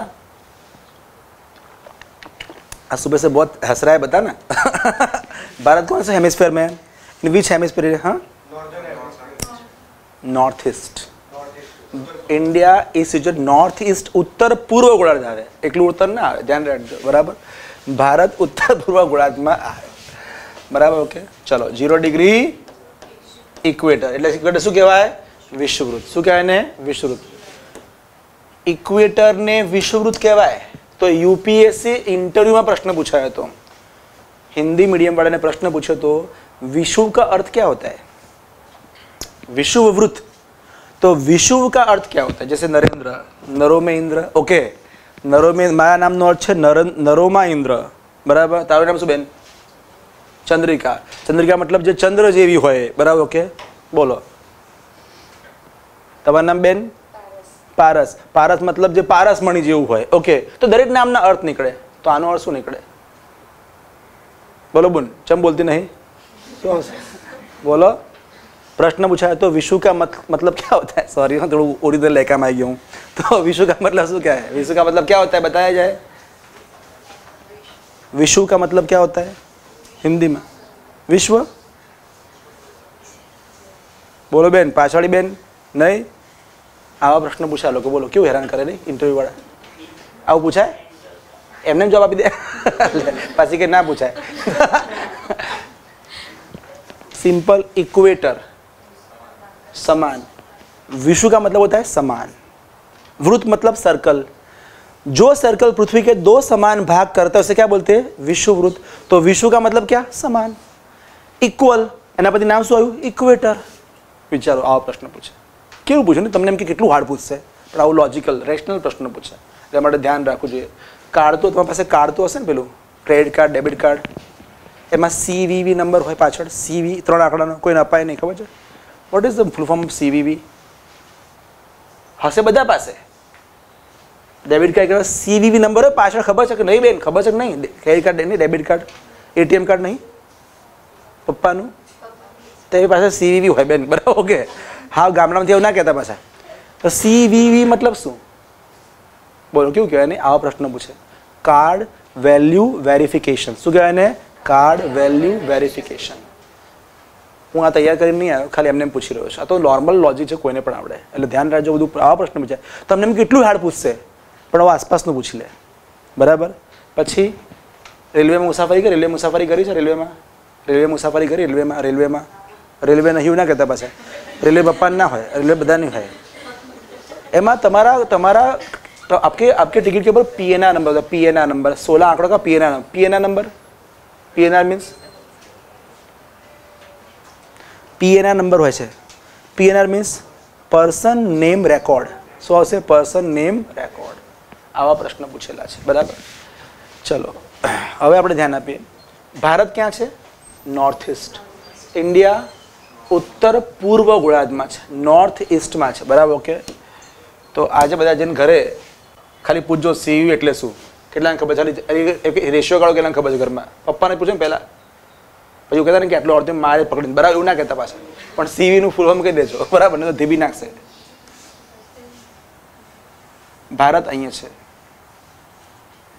આ લહેરાતું નહીં, આમ જમીન છે પાછળ, જો પાછળ. બરાબર કે આમ હાથ લહેરાય નહીં. ઘણા કે સાહેબે લહેરાતું ભારત દોર્યું. ઓકે નોર્થ ઇસ્ટ એ બાજુ દોર્યું, પાછળ ગયું. હવે જુઓ, ભારત ઉત્તર પૂર્વ ગોળાર્ધમાં છે નોર્થ ઇસ્ટમાં ભારત છે સમજો તમે જાણો છો આ ઝીરો ડિગ્રી છે? આ નાઇન્ટી ડિગ્રી નોર્થ આને શું કહેવાય? નોર્થ પોલ આ નાઇન્ટી ડિગ્રી સાઉથ પોલ નેવ ઉપર, નેવ નીચે, કુલ કેટલા? એકસો ને એંસી. પૃથ્વી ઉપર દોરવામાં આવેલી આડી કાલ્પનિક રેખાઓને શું કહેવાય? અક્ષાંશ. ઊભી રેખાઓને શું કહેવાય? રેખાંશ. લેટિટ્યુડ એન્ડ લોંગિટ્યુડ્સ બરાબર okay how many total latitudes we have on earth it is virtual કેટલા છે એકસો એક્યાસી વચ્ચેનું શૂન્ય ગણવાનું જીપીએસસી આપો તો એકસો એક્યાસી યુપીએસસી આપો તો યુપીએસસી આપો તો બોલો પારસ નહીં બોલો બેન એકસો વન સેવન્ટી નાઇન યુપીએસસી આપો તો વન સેવન્ટી નાઇન બે કયા કાઢી નાખવાના? આ કાઢી નાખવાના because philo geography says that there is not it is the dot and dot has not any circle મતલબ નોર્થ પોલ ને સાઉથ પોલ ખાલી ટપકા છે. અને ટપકાને કદી કોઈ પરિઘ ના હોય. ખબર પડે તમે એટલા માટે લોકો બે કાઢી નાખે છે. કયા બે કાઢી નાખે? ન્યૂ સાઉથ ન્યૂ નોર્થ અને ન્યૂ સાઉથ તો યુપીએસસી આપો તો કેટલા કેટલા અક્ષાંશ? એકસો ઓગણએંસી. વન્સ જીપીએસસી આપો તો એકસો ને એક્યાસી. કંઈ આપો તો કંઈ નહીં. બરાબર? ઓકે, ધ્યાન રાખજો. આટલું છે. બાકી તો ધ્યાન રાખજો, આ રીતે છે. બરાબર? ઓકે. હવે આ કેમ દોર્યું સાહેબ? ખબર છે? કેમ કે આપણું જીપીએસ કેટલો કવર કરે? કેટલું એરિયા કવર કરે? એ બતાવવા માંગુ છું. તો સાંભળો. આપણું જીપીએસ છે ને, આ પ્રશ્ન પૂછાય. Thirty degree south to fifty degree north. તો ભારતનું આ જીપીએસ જે છે ને, ત્રીસ ડિગ્રી દક્ષિણ અક્ષાંશથી પચાસ ડિગ્રી ઉત્તર અક્ષાંશનો એરિયા કવર કરે અને ત્રીસ ડિગ્રી ઈસ્ટથી એકસો ત્રીસ ડિગ્રી ઈસ્ટ રેખાંશને કવર કરે. તો ભારત, આ ભારતનું જીપીએસ કેટલા અક્ષાંશને કેટલા રેખાંશ કવર કરે? તો ત્રીસ ડિગ્રી દક્ષિણથી પચાસ ડિગ્રી નોર્થ અને ત્રીસ ઈસ્ટથી એકસો ત્રીસ ઈસ્ટને કવર કરે. આ પ્રશ્ન પૂછાય. ખબર પડી? આટલો એરિયા અક્ષાંશ રેખાંશમાં કવર કરે છે. ક્લિયર થઈ ગયું બધાને? તો ભારતનું જીપીએસ નાવિક છે, કેટલું કવર કરે? ત્રીસ ડિગ્રી દક્ષિણ અક્ષાંશથી. બોલો બેન, પચાસ ડિગ્રી શું આમ ખાલી આમ બોલવાનું? પચાસ ડિગ્રી ઉત્તર અને ત્રીસ ડિગ્રી પૂર્વથી. એકસો ડિગ્રી પૂર્વ શું? પશ્ચિમની પૂર્વ જ આવે. પશ્ચિમ ના આવે. ત્રીસ ડિગ્રી પૂર્વથી એકસો ત્રીસ ડિગ્રી પૂર્વ રેખાંશ. આડી લાઈને શું કહેવાય? અક્ષાંશ. ઊભીને શું કહેવાય? આ તમારું જીપીએસ થયું. ખબર પડે છે, આટલું કવર અપ કરે છે આપણું. હાલમાં આના કોઈ કરંટ અફેર્સ સાહેબ છે? હા. હાલમાં આના કરંટ અફેર્સ છે. શું પ્રધાનમંત્રી નરેન્દ્રએ સ્વીકાર્યું નક્કી કર્યું છે કે આમાં બીજા ત્રણ છોડવાના છે? હાલમાં કેટલા ચાલુ છે? સાત. બીજા ત્રણ. લખી નાખો. હાલમાં બીજા ત્રણ નવા આઈઆરએનએસએસ છોડવાનો પ્લાન છે. કોનો? નરેન્દ્ર સાહેબનો, નરેન્દ્ર મોદીનો. હાલમાં બીજા ત્રણ નવા આઈઆરએનએસએસ છોડવાનો પ્લાન છે. એટલે કુલ કેટલા થશે પછી ભવિષ્યમાં? દસ થશે. બરાબર? કુલ ત્રણ નવા આઈઆરએન છોડવાનો પ્લાન છે. ડન ઓકે ક્લિયર છે બધાને? ખ્યાલ આવે બધાને? ઓકે ચલો, હવે હવે દરેક દેશના જીપીએસના નામ છે. આ પ્રશ્ન પૂછાય. દરેક દેશના જીપીએસના નામ છે. જેમ કે જીપીએસ ગોત્યું કોણે? અમેરિકા. અમેરિકાનું જીપીએસનું નામ છે જીપીએસ અથવા ન્યૂ સ્ટાર તો પરીક્ષામાં પ્રશ્ન પૂછાય કે અમેરિકાના જીપીએસ નામ શું? જીપીએસ અથવા નેવ સ્ટાર? પછી ચિન્ટુ ચાઇના. ચાઇનાના જીપીએસ નામ છે બાયદુ શું નામ છે? બાયદુ કયા દેશના જીપીએસનું શું નામ છે? આવો પ્રશ્ન પૂછાય. રશિયા. રશિયાના જીપીએસ નામ છે ગ્લોનાસ. શું નામ છે? ગ્લોનાસ. જાપાન તો ગયા હશો. જાપાનના જીપીએસનું નામ છે ક્વાસી ઝેનિથ. શું નામ છે? Quasi zenith. દરેક દેશના જીપીએસનું અલગ અલગ નામ છે. European union. એના જીપીએસ નામ છે ગેલિલિયો. શું નામ છે? ગેલિલિયો. અને ઇન્ડિયા. શું આવશે બોલો? નાવિક. તો ભારતના જીપીએસ નામ નાવિક છે. તો કયા દેશનું કયું જીપીએસ છે? આવો પ્રશ્ન પૂછાય. જોડકા જોડો. કયું જોડકું સત્ય છે અને કયું જોડકું અસત્ય છે? તો ધ્યાન રાખજો. અસત્ય અસત્ય અથવા યાદ રાખવાનું. કયા દેશનું કયું જીપીએસ આવડશે? ક્લિયર છે? તો અત્યાર સુધી મેં તમને શું કેટલું ભણાવ્યું ખબર છે પહેલાં ફેટ ભણાયા સ્ટાર્ટિંગમાં પછી શું ભણાવ્યું ક્રાયોજેનિક પછી શું ભણાવ્યું લાંગરાજ પછી શું ભણ્યા? I R N S S તો ભારતના જીપીએસ માટે છોડવામાં આવેલા ઉપગ્રહના નામ શું? બોલો. આઈ અને ભારતના જીપીએસ નામ શું? ભારતનો જીપીએસ કેટલા અક્ષાંશને કવર કરે છે? જોયા આગળ બોલો જોયા આગળ બોલો. કેટલું? ઉપર કેટલું? પચાસ. ત્રીસ ડિગ્રી સાઉથથી પચાસ. યાદ કે સાહેબ, આ ત્યાં રાખવાનું સાહેબ? સાંભળો, આ ત્યાં રાખવાનું? સાંભળો. ભારતનું જીપીએસ ભારતની બહાર હોય? હા કે ના? તો ભારતનું ઓલમોસ્ટ જે ભારતનું જે છેલ્લો અક્ષાંશ છે ને, સાડત્રીસ છે. તો ભારત જીપીએસ ભારતની બહાર જ હોય ને? તો કેટલું? પચાસ. ખબર પડી ગઈ યાદ રાખવાનું? તો સાડત્રીસ પર શું આવે? પચાસ યાદ રાખવાનું. કે ભારતનું અક્ષાંશ આઠથી સાડત્રીસ છે. અક્ષાંશ આઠ ભારત કેટલા અક્ષાંશમાં છે? આઠથી સાડત્રીસ. ખબર આ રીતે છે. તો જીપીએસ તો બાર હોય ને, તો નંબર સાડત્રીસથી વધારે છે. એટલે પચાસ નોર્થ અને ત્રીસ સાઉથ અને આમ તો યાદ ત્રીસ એકસો ત્રીસ આવી જશે આ તો ઇઝી છે એકદમ. બરાબર ઓકે ચલો ડન આ તમારું શું હતું? I R N S S ખબર પડી ગઈ? હવે આવે છે ગગન. શું આવે છે? ગગન. ગગનવાસી ધરા ઉપર બે ઘડી શ્વાસ લઈને જો. તો જીપીએસસીની એક્ઝામ તો આપીને જો. ઓકે તો બહુ ખતરનાક એક્ઝામ છે. ગગનનું પૂરું નામ? આકાશ. એવું? ગગન, શું આવશે? આનું પૂરું નામ પૂછાય છે. GPS aided geo augmented navigation system ના લખો, ચાલે. ગગનનું પૂરું નામ GPS aided A I D D geo augmented navigation clear છે બધાને? આનું પૂરું નામ યાદ રાખજો. આ શેના માટે છે. તો આપણું જે નાવિક છે ને, એ આપણા માટેનું જીપીએસ છે. પણ આ જે ગગન છે ને, એ ઉડતી વસ્તુ માટે છે. તો ઉડતી વસ્તુ કોણ હોય? વિમાન. વિમાન કોના અંડરમાં આવે? એરપોર્ટ ઓથોરિટી ઓફ ઇન્ડિયા તો આ કોનું સાહસ છે? A A I airport authority of India વત્તા ઇસરોનું સંયુક્ત સાહસ છે. તો ઇસરો કોણ? ઇન્ડિયન સ્પેસ રિસર્ચ ઓર્ગેનાઇઝેશન અને એએઆઈ મતલબ શું? એરપોર્ટ ઓથોરિટી ઓફ ઇન્ડિયા તો યાદ રાખજો ભાઈ આપણું જે ગગન છે ને, એ બે જણનું સંયુક્ત સાહસ છે. કયા બે જણ? એ એ, આઈ અને ઇસરો આ બેનું સંયુક્ત સાહસ તો સાહેબ, એનું ઇન્ટેન્શન શું હોય? બટ ઓબ્વિયસ યાર. આપણા માટે તો નહીં જ હોય. કોના માટે હશે? ઉડતી વસ્તુ માટે. ઉડતી વસ્તુ શું? વિમાન માટે. તમે જાણો છો? આ શેના માટે છે? Main intention air traffic control લખી નાખજો મુખ્ય ઉદ્દેશ્ય એર ટ્રાફિક કંટ્રોલ તો આ સિસ્ટમ બધા પાસે નથી. જેમ કે જીપીએસ આપણી પાસે નથી, એટલે આપણે બીજાનું રેન્ટ ઉપર લેતા હતા. બરાબર ને? કોનું? અમેરિકાનું. એને આપણે ના પાડ્યું તો આપણે પોતાનું ડેવલપ કરી નાખ્યું. તો એકચ્યુઅલી આ છે ને એર ટ્રાફિક કંટ્રોલ માટે છે. તો ઉડતી વસ્તુથી ભીગડી જતો, કેવું કેવો સીન થાય? વિચારવાનું. બે વિમાન હામાં મેથરાય તો. આવું ના થાય એટલા માટે કર્યું. એના સિવાય સપોઝ કે you are the pilot and you want to wanted to emergency landing તમારે ઇમરજન્સી લેન્ડ કરવું છે. તો ઇમરજન્સી લેન્ડ કરવું હોય તમારે, તો તમે પ્લેનને સાચવો કે તમે ઇન્ફોર્મેશન આપો યાર, તમે કદાચ તમે ફ્યુઅલ નથી લીધું, તમારા વિમાનમાં ઈંધણ ઓછું છે, અને તમારે અડધે રસ્તે ઉતરવું પડે, આવું ઘણીવાર થાય છે. પાયલોટ પીગ્યો હોય તો કરી શકે, બરાબર, કે ખરેખર તો ચેક કરીને જવું પડે. ચેક કરીને જવું પડે. આપણે પણ ચેક કરીને ગાડી ચલાવી કે આમાં ઇંધણ પેટ્રોલ છે કે નહીં, આજે નખાવવું પડશે. આપણને ખબર પડે કે ના પડે. અને પેલો હત્યાજન લઈને નીકળ્યો હોય અને પેલો પેટ્રોલ સોરી ઇંધણ ચેક ના કરે, શું હોય ઇંધણ? અતિશુદ્ધ કેરોસીન શું હોય? અતિશુદ્ધ. એ ચેક ના કરે તો ચાલે? ના ચાલે. હો ઇમરજન્સી ઉતરવું ક્યાં? અમદાવાદ ઉપર આવી ગયો. હવે શું કરવાનું? તો પેલો વિમાન ચલાવે કે ફ્રસ્ટ્રેટ થાય? અમે માણસ ફ્રસ્ટ્રેટ થાય. ખબર પડે? એક્સિડન્ટમાં તો કેસ આવો થઈ જાય. તો એને શું કરવું પડે? એને નજીકના એરપોર્ટ ઓથોરિટીનો કોન્ટેક્ટ કરવો પડે. અને જો એની જોડે ઉતરવા માટે જગ્યા માંગવી પડે કે હું ક્યાં ઉતરું? તો પેલો કે આટલા અક્ષાંશ ને આટલા રેખાંશ ઉપર ઉતર. પણ એમાં તો બહુ ટાઈમ કન્ઝ્યુમિંગ થઈ જાય. એટલામાં તો ઘણું સમસ્યા થાય. એટલા માટે જુલાઈ બે હજાર એકવીસ પછી ભારતમાં તમામ ઉડતી વસ્તુએ ગગનમાં રજિસ્ટર થવું પડે. એનો મતલબ એવો થયો કે તમારે ઇમરજન્સી લેન્ડિંગ કરવું હોય તો તમારે કશું નહીં કરવાનું. ખાલી સેટેલાઇટ ઇન્ફોર્મેશન આપી દેવાની. તો આ જે સેટેલાઇટ હોય ને, એ નજીકના એરપોર્ટ ઓથોરિટીનો કોન્ટેક્ટ કરીને કે, ભાઈ, પેલો ગાંડો અડધું ઈંધણ લઈને આવું તો ના બોલે. પેલો અડધું ઈંધણ લઈને નીકળ્યો છે, આ તો આપણો દેશી લેકો બહાર આવી જાય. બરાબર? ઓકે, અડધું લઈને નીકળ્યો છે, પેલો ઉતરવા માટે જગ્યા આપ. તો પછી પેલો કે, આટલા અક્ષાંશ ને આટલા રેખાંશ ઉપર ઉતરો. એવું ના કે અહીંયા ઉતર, આટલા મીટરે. એટલે એ ત્યાં સિગ્નલ લે. શું લે? સિગ્નલ અને એ સિગ્નલ એ કેચ કરે ને પછી લેન્ડિંગ કરે. એટલા માટે વિમાનમાં જો મુસાફરી કરી હોય, તો મોબાઈલને પ્લેન મોડમાં રાખવું પડે. ખબર પડે છે? બિકોઝ તમારો મોબાઈલ ચાલુ હોય ને, અરે ઇકોનોમિક્સ કોલ તમારો મોબાઈલ જો ચાલુ હોય ને તો શું થાય ખબર છે?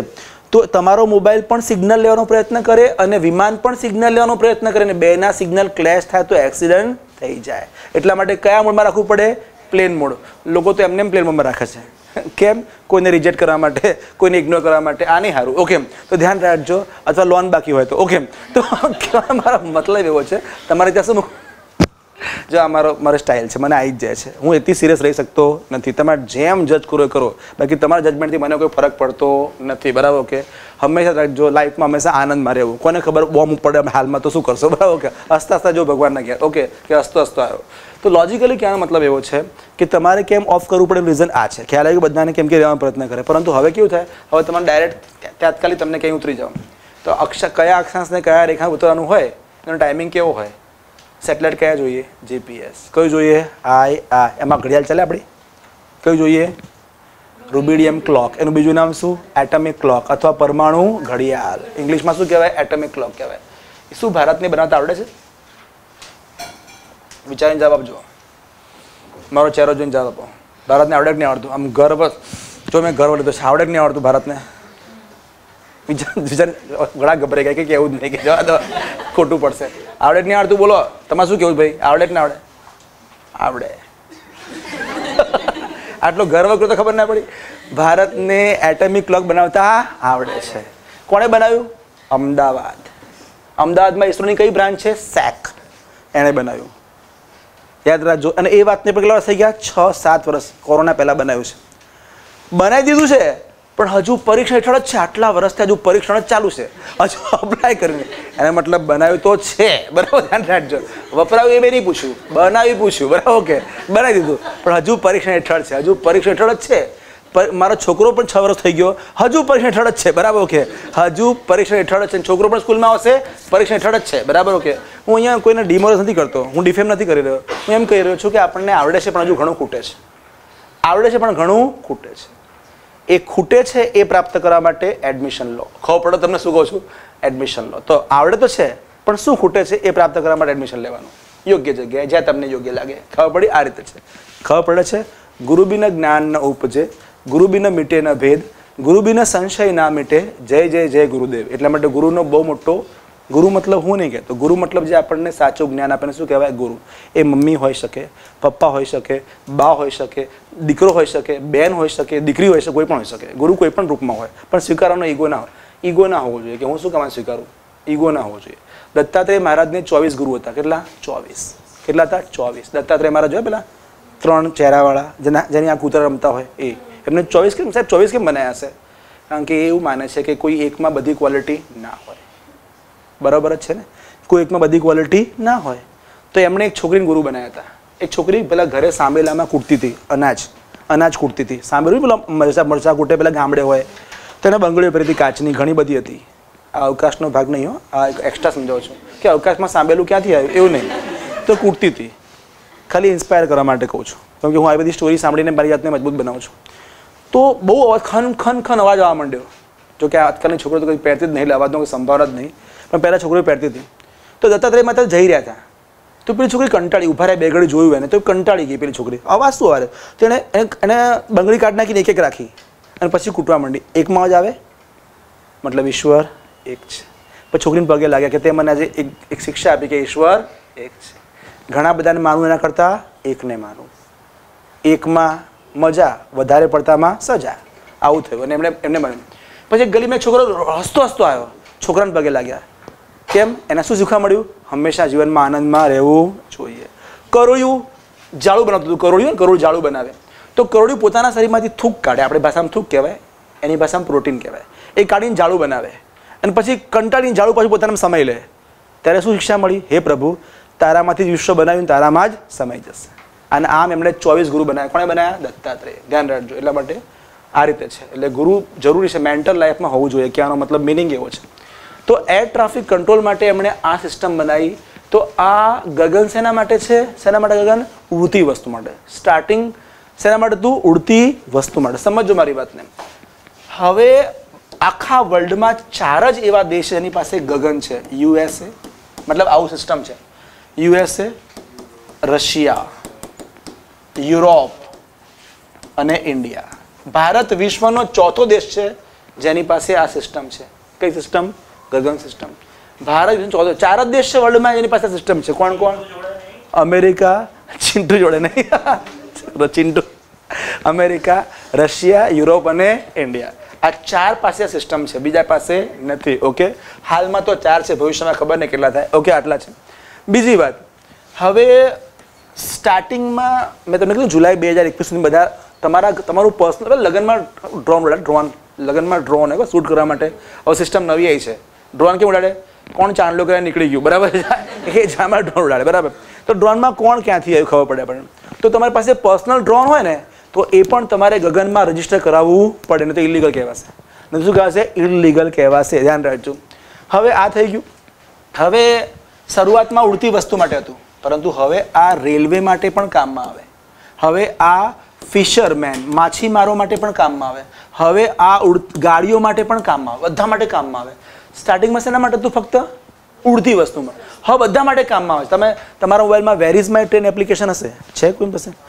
Where is my train application check કરજો. વેર ઇઝ માય ટ્રેન એપ્લિકેશનમાં કેવું હોય કે તમારી ટ્રેન એક્ઝેક્ટ ક્યાં પણ તમને ખબર પડે. એ ટાઈમે તમે તમારા તમારા ગેસ્ટને લેવા માટે જઈ શકો. બાકી પહેલાં કેવું હતું કે દસ વાગે ટ્રેન આવી ગયા. રસ્તામાં ખબર નહીં ક્યાં ખોવાઈ ગયા. અને તમને એમ કે ટ્રેન અમદાવાદ એક વાગે આવશે બપોરે. અને તમે એક વાગે જઈને બેઠા હોય અને ટ્રેન રાત્રે દસ વાગે આવે. તમે કંટાળ જાઓ ટ્રેનમાં આવડી આવવાની ત્યાં પ્લેટફોર્મ ગાંડા થઈ જાઓ. પણ હવે કેવું છે, ભાઈ બેહી ગયા ગાડીમાં, તો તમે ઓનલાઈન ચેક કરો, કેટલે પહોંચી ટ્રેન ઓકે હજુ તો છ કલાક લેટ ચલો, સાંજે જઈશું મોડા. હવે આવું થઈ ગયું. તો આ સિસ્ટમ સારી થઈ, ખરાબ થઈ? સારી થઈ. બાકી લોકોને ખબર જ ન હોય. મોબાઈલ પણ નહોતા પહેલાં તો, કે પેલા ટ્રંક કોલ થોડી હોય ગાડીમાં તો, બિચારા હેરાન થતા. ખબર પડે? હવે એવું નથી. હવે તો તમારે કેમ કે માસી બેસી ગયા નથી તો ઉતારવાના ક્યારે? તો માસીને આપણે ચેક કરી શકીએ આ રીતે ગગનથી, કે ભાઈ માસી હજુ તો રસ્તામાં ખોવાઈ ગયેલા છે. છ કલાક ટ્રેન લેટ છે. ભલે માસી મોડી આવતી, બરાબર? ઓકે આવો સીન થાય. તો આ ટ્રેન માટે પણ કામમાં આવ્યું તો where is my train application આના પર સિસ્ટમમાં કામ કરે. ધ્યાન રાખજો. બીજી વાત બીજી વાત, માછીમારો માટે માછીમારો માટે એક ડિવાઇસ બનાવી છે જેમિની ડિવાઇસ પીઆઈ પ્રિલિમમાં પૂછાયેલો પ્રશ્ન. ભણાયો હતું પ્રશ્ન પૂછાઈ ગયો જેમિની ડિવાઇસ જેમિની ડિવાઇસ પૂછાયો હતો તો જેમિની ડિવાઇસ કોના માટે છે? માછીમારો માટે. તો જેમિની છે શું? તો આનું પૂરું નામ છે Gagan enabled mariners instrument for navigation and information. તો જેમિન ડિવાઇસનું પૂરું નામ છે ગગન એનેબલ્ડ. ગગન આવી ગયું? Gagan enabled mariners instrument for navigation and information. તો આ કોના માટે ખબર છે? તો પેલા માછીમારો દરિયામાં જ્યારે માછીમારી કરવા માટે જાય તો જ્યાં ત્યાં જાળ નાખે. તો માછલા પકડાય નહીં. તો આ ડિવાઇસ માછીમારોને એ કહે છે સેટેલાઇટથી પકડે કે અહીંયા બહુ ફ્લોક છે માછલું, ત્યાં નાખ જાળું તો બધાને લોકેશન મળે કે અહીં જવું નાખું ને, તો ફટ દઈને માછલા બહાર આવે. તો એનો ટાઈમ બગડે કે બચે? બચે. બાકી આડે ધડ શોધ કરો તો? તો બગડે. તો પહેલાંના માછીમારો જ કરતા નસીબ પ્રારબ્ધવાદી. બે પ્રકારના લોકો લાઈફમાં હોય, પ્રારબ્ધવાદી ને પુરુષાર્થવાદી. પ્રારબ્ધવાદી કોને કહેવાય? હશે મારા નસીબમાં યુપીએસસી નથી. હશે મારા નસીબમાં જીપીએસસી નથી. ડેમો તો ભર્યા હતા, પણ ખબર નહીં કઈ શક્તિ મને એડમિશન લેવા રોક્યા. આવા હોય બરાબર કે એ શક્તિના મારું મન હોય કે સાલું એડમિશન લઈશ તો પપ્પા કહેશે કેટલું વાંચ્યું? વારે ઘડે પૂછશે. એના કરતાં ના લેવું સારું. ખબર પડે, આવા હોય પાછા. કામચોર. આને શું કહેવાય? કામચોર. જે ડેડિકેટેડને તો કરવાના જ છે. લાઈફમાં કરી બતાવવાનું. છેલ્લે એ અફસોસ ના રહેવો જોઈએ કે મારી પાસે એ જ હતી મેં પ્રયત્ન ના કર્યો. ખબર પડે છે પછી છોકરા કે કયા પપ્પાએ કશું કર્યું નહીં. મમ્મી બેસતી પણ ન પાસ થઈ. આવું ના થવું જોઈએ. લાઈફમાં હંમેશા પ્રયત્ન કરવું પડે. કરી નાખવાનું. એકવાર એકવાર તમારે સારામાં સારી વસ્તુ પહેરી લેવી, ઓઢી લેવી બધા મજા કરવા હોય. અયાશ્ય બધી કરવી હોય, આપણે મહેનત કરવા માટે માણ- માણસ પાછો પડે છે. આ બહુ મોટો પ્રશ્ન છે. તો આ કેસમાં, બરાબર, ઓકે. તો એ કેસમાં બિચારો કન્ટિન્યુઅસ પેલો માછીમારી કરવા ગયો હોય ને, એ કે કે હશે, આજ મારા નસીબમાં માછલી નથી. પણ જેમીની યુઝ કરે અને માછલીઓ મળે જ. મતલબ એનો મતલબ એવો છે કે પ્રોપર ગાઈડન્સ એ જેમિની છે. અને માછલીઓ એ સફળતા છે. આડે ધડ બુક કોણ વાંચે બિહારવાળા આડે ધડ વાંચે. યુપીએસસી માંડ એક ટકો માણસ ક્લિયર કરે. અને દિલ્હીવાળાને બહુ ચંટ અને ચાલાક હોય. એક્ઝેક્ટ જે કામની બુક હોય ને એ જ બુક વાંચે. એ કેવું કામ કરે? જેમિની જેવું. અને પેલો પરંપરા કામ કરે એના પાસ થાય. એટલે યાદ રાખજો, આપણે જેમિની જેવું બનવું પડે. તો જેમિની શાના માટે? કે તું અહીંયા ના કદ મળશે. બીજું શું? બીજું શું ખબર પડે? બીજું સપોઝ કે દરિયામાં સાયક્લોન આવ્યું હોય ને, ચક્રવાત, જેમ કે હમણાં રેમલ ચક્રવાત આવ્યું ઓડિશામાં. ચક્રવાત આવે ને, તો પેલો માછીમારને ફોન કહી દે, આનાથી ઇન્સ્ટ્રુમેન્ટથી કે ભાઈ બહાર નીકળ માછીમાં ચક્રવાત આવી રહ્યો છે. તો પેલો ફટાક દઈને બહાર આવી જાય. બાર નોટિકલ માઇલ દરિયામાં ગયો હોય તો એ પાછો આવી જાય. તો ડિવાઇસ કામ નહીં, નકામી? કામ નહીં. અને વર્લ્ડ મત્સ્યપાલન દિવસ હતો ને, એ વખતે જ્યારે પીઆઈ પૂછાયું, ત્યારે વખતે પ્રશ્ન પૂછાતો ત્યારે વખતે બધા માછીમારોને એ ભેટમાં આપ્યું હતું. પણ આમાં છે ને વન વે છે. મતલબ કે સરકાર જે અરે કહેવા માંગતી નહીં, માછીમારને ખબર પડે. પણ માછીમારે કંઈ કેવું તો ખબર ના પડે. એટલા માટે હવે આ ડિવાઇસને ટુ વે કરી રહ્યા છે. મતલબ માછીમારે પણ કોઈ ઇન્ફોર્મેશન સરકારને આપી હોય તો આપી શકે છે. That is why right now this this is reassertion મતલબ આ ડિવાઇસને ફરીથી નવું ડેવલપ કરી રહ્યા છે. ક્લિયર થઈ ગયું બધાને? તો જેમિની કોના પર આધારિત છે? ગગન ઉપર. ક્લિયર છે બધાને, ગગન? ડન ઓકે ચલો, આ એક પોઈન્ટ પત્યો. ક્લિયર બધાને? ચલો. હવે ભારતનો અવકાશ કાર્યક્રમ છે. ભારતનો અવકાશ કાર્યક્રમ મેસમાં પૂછાય. ભારતનો અવકાશ કાર્યક્રમ મેસમાં પૂછાય. આ ત્રણ ચરણમાં વિભાજિત છે. કયા ચરણમાં? ત્રણ ચરણમાં વિભાજિત છે. પહેલું કયું આવશે? હું બોલી ગયો આગળ. એલવીએસ. બીજું કયું છે? આઈઆરએસ. ત્રીજું કયું છે? ઇનસેટ. સમજો ધ્યાનથી. આગળ આવી ગયું છે. એલવીએસ, આઈઆરએસ અને ઇન્સેટ. બોલો બેન, એલવીએસનું પૂરું નામ શું હતું? LVS. Very good mind blowing launching vehicle system IRS મતલબ Indian remote sensing satellite INSAT મતલબ ઇન્ડિયન નેશનલ એક પછી એક ભણીએ આપણે, બરાબર? પહેલાં એક ભણીએ. મેં તમને શું કીધું? આર્યભટ્ટ ભારતનો પ્રથમ સ્વદેશી ઉપગ્રહ હતો. કોણે છોડી આપ્યો આપણને? રશિયાએ. પછી આપણને એમ થયું કે સારું, આપણા ઉપગ્રહ કે બીજા છોડી આપે આ ના સારું કહેવાય. એટલે પછી આપણે આપણા લોન્ચિંગ વ્હીકલ બનાવવાનું નક્કી કર્યું. હા કે ના? આ શું છે? આ શું છે? ઉપગ્રહ. આને લગાવ્યું આ મૂકીને પાછું આવે. ક્લિયર છે બધાને? આ લોન્ચિંગ વ્હીકલ જે આપણી પાસે નહોતું. આ છે આર્યભટ્ટ કોણે છોડી આપ્યું? રશિયા. પછી ના, આપણે આપણું લોન્ચિંગ વ્હીકલ બનાવીએ. બરાબર ઓકે દર વખતે બીજાની ગાડીમાં શું જવું? આપણે પોતાની પણ ગાડી હોવી જોઈએ. એવું. હવે સાંભળજો. પહેલાં શું ભણીશું આપણે? લોન્ચિંગ વ્હીકલ તો નાઇન્ટીન પહેલાં આ બે કાર્ડ નાખો છું. પહેલાં આપણે આ ભણીએ છીએ. કયું ભણીએ છીએ એલવીએસ. તો નાઇન્ટીન સેવન્ટી નાઇનમાં રશિયાએ sorry nineteen seventy five. Nineteen seventy ફાઇવમાં રશિયાએ ભારતનું કયું ઉપગ્રહ છોડી આપ્યું? આર્યભટ્ટ. આર્યભટ્ટ ભારતનો કયો ઉપગ્રહ છે? સ્વદેશી. તો ઓગણીસો પંચોતેરમાં nineteen seventy five Russia had launch Indian indigenous satellite Aryabhata toward the satellite toward the space okay છોડી આપ્યું. પછી આપણને જોયું કે આપણું પોતાનું લોન્ચિંગ વ્હીકલ હોવું જોઈએ. એટલા માટે આપણે પહેલાં બનાવ્યું SLV three this is the first generation launching vehicle of India આ ભારતનું પ્રથમ પેઢીનું લોન્ચિંગ વ્હીકલ છે. શું નામ છે એનું? એસએલવી થ્રી તો એસએલવી થ્રી ભારતનું પ્રથમ પેઢીનું લોન્ચિંગ વ્હીકલ છે. પૂરું નામ સેટેલાઇટ લોન્ચ વ્હીકલ બરાબર ઓકે આના દ્વારા નાઇન્ટીન સેવન્ટી નાઇનમાં રોહિણી નામનો ઉપગ્રહ અવકાશમાં મૂકવાનો પ્રયત્ન કર્યો. કયો? રોહિણી. પણ અનસક્સેસફુલ. ઓગણીસો ઓગણએંસીમાં રોહિણી નામનો ઉપગ્રહ છોડવાનો પ્રયત્ન કર્યો પરંતુ નિષ્ફળ રહ્યા. But in nineteen eighty we had retried ફરીથી પ્રયત્ન કર્યો. જેમાં આપણે સફળ રહ્યા. ખબર પડે છે? તો નાઇન્ટીન સેવન્ટી નાઇનમાં ભારતે પોતાના વ્હીકલથી ઉપગ્રહ છોડવાનો પ્રયત્ન કર્યો. નિષ્ફળ નિષ્ફળ રહ્યા. થઈ શકે એમાં શું વાંધો છે? અત્યારે મેક્સિમમ છોકરાઓ સુસાઇડ એટેમ્પ કરેનું કારણ ખબર પડશે? કારણ કે પેરેન્ટ્સ ખાલી એમને નિષ્ફળતા, સફળતા માટે જ તૈયાર કરે છે.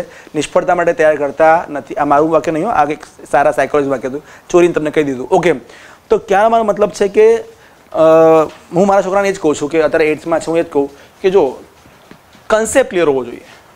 ટકા બકા જોઈએ નહીં આપણે. કન્સેપ્ટ ક્લિયર હોવો જોઈએ. જ્યારે આપણા પેરેન્ટ્સ શું કહેતા, યાદ છે? કેટલા ટકા ટકા કેટલા ટકા કેટલા યાદ છે? મેક્સિમમ તમારા, મારા પેરેન્ટ્સની કોમન શું હતું? ટકા પર્સન્ટેજ જો કે મારા ઘરમાં એવું નહોતું.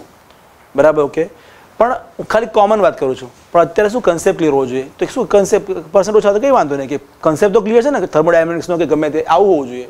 તો છોકરા શું કે, ના આમાં તો સફળ જ થવું પડે. નિષ્ફળ મતલબ મરી જઈએ, એટલે મરી જાય, આવું કરે. આવું ના કરે. તો અહીંયા આ શું બતાવે છે? આપણે નિષ્ફળ ગયા, ફરી શું થયા પાછા સફળ થયા. તો આપણી પાસે આ ટેકનોલોજી સફળ ક્યારે થઈ એંસીમાં? તો આમ ઓગણીસો એંસીમાં ભારત લોન્ચિંગ વ્હીકલ ટેકનો ધરાવતો ધરાવતો ટેકનોલોજી ધરાવતો વિશ્વનો છઠ્ઠો દેશ બન્યો. કયો દેશ બન્યો? છઠ્ઠો દેશ. તો ઓગણીસો એંસીમાં ભારત લોન્ચિંગ વ્હીકલ ટેક ધરાવતો વિશ્વનો કયો બન્યો? સિક્સ કન્ટ્રી છઠ્ઠો દેશ બની ગયો. Isn't it great sorry wasn't it great A great હતું. તો આમ ભારતનું પહેલું કયું છે? એસએલવી કઈ સાલમાં સફળ થયા? એંસીમાં. કયો દેશ બન્યા? છઠ્ઠો. હવે એમને એમ થોડી બે રહેવાય. આગળ નવું કરવું પડે. તો લોન્ચિંગ વ્હીકલમાં પહેલું કયું ડેવલપ કર્યું આપણે? એસએલવી હવે આપણી બીજી પેઢીનું આવે એએસએલવી કયું આવે? એએસએલવી તો બીજી પેઢીનું કયું છે? એએસએલવી એએસએલવીનું પૂરું નામ છે ઓગમેન્ટેડ ઓગમેન્ટેડ એસએલવી મતલબ શું? Satellite launch vehicle SLV will the common that is ભાઈ લખતો નથી. ઓગમેન્ટેશનનો મતલબ શું ભાઈ? What is the meaning of augmentation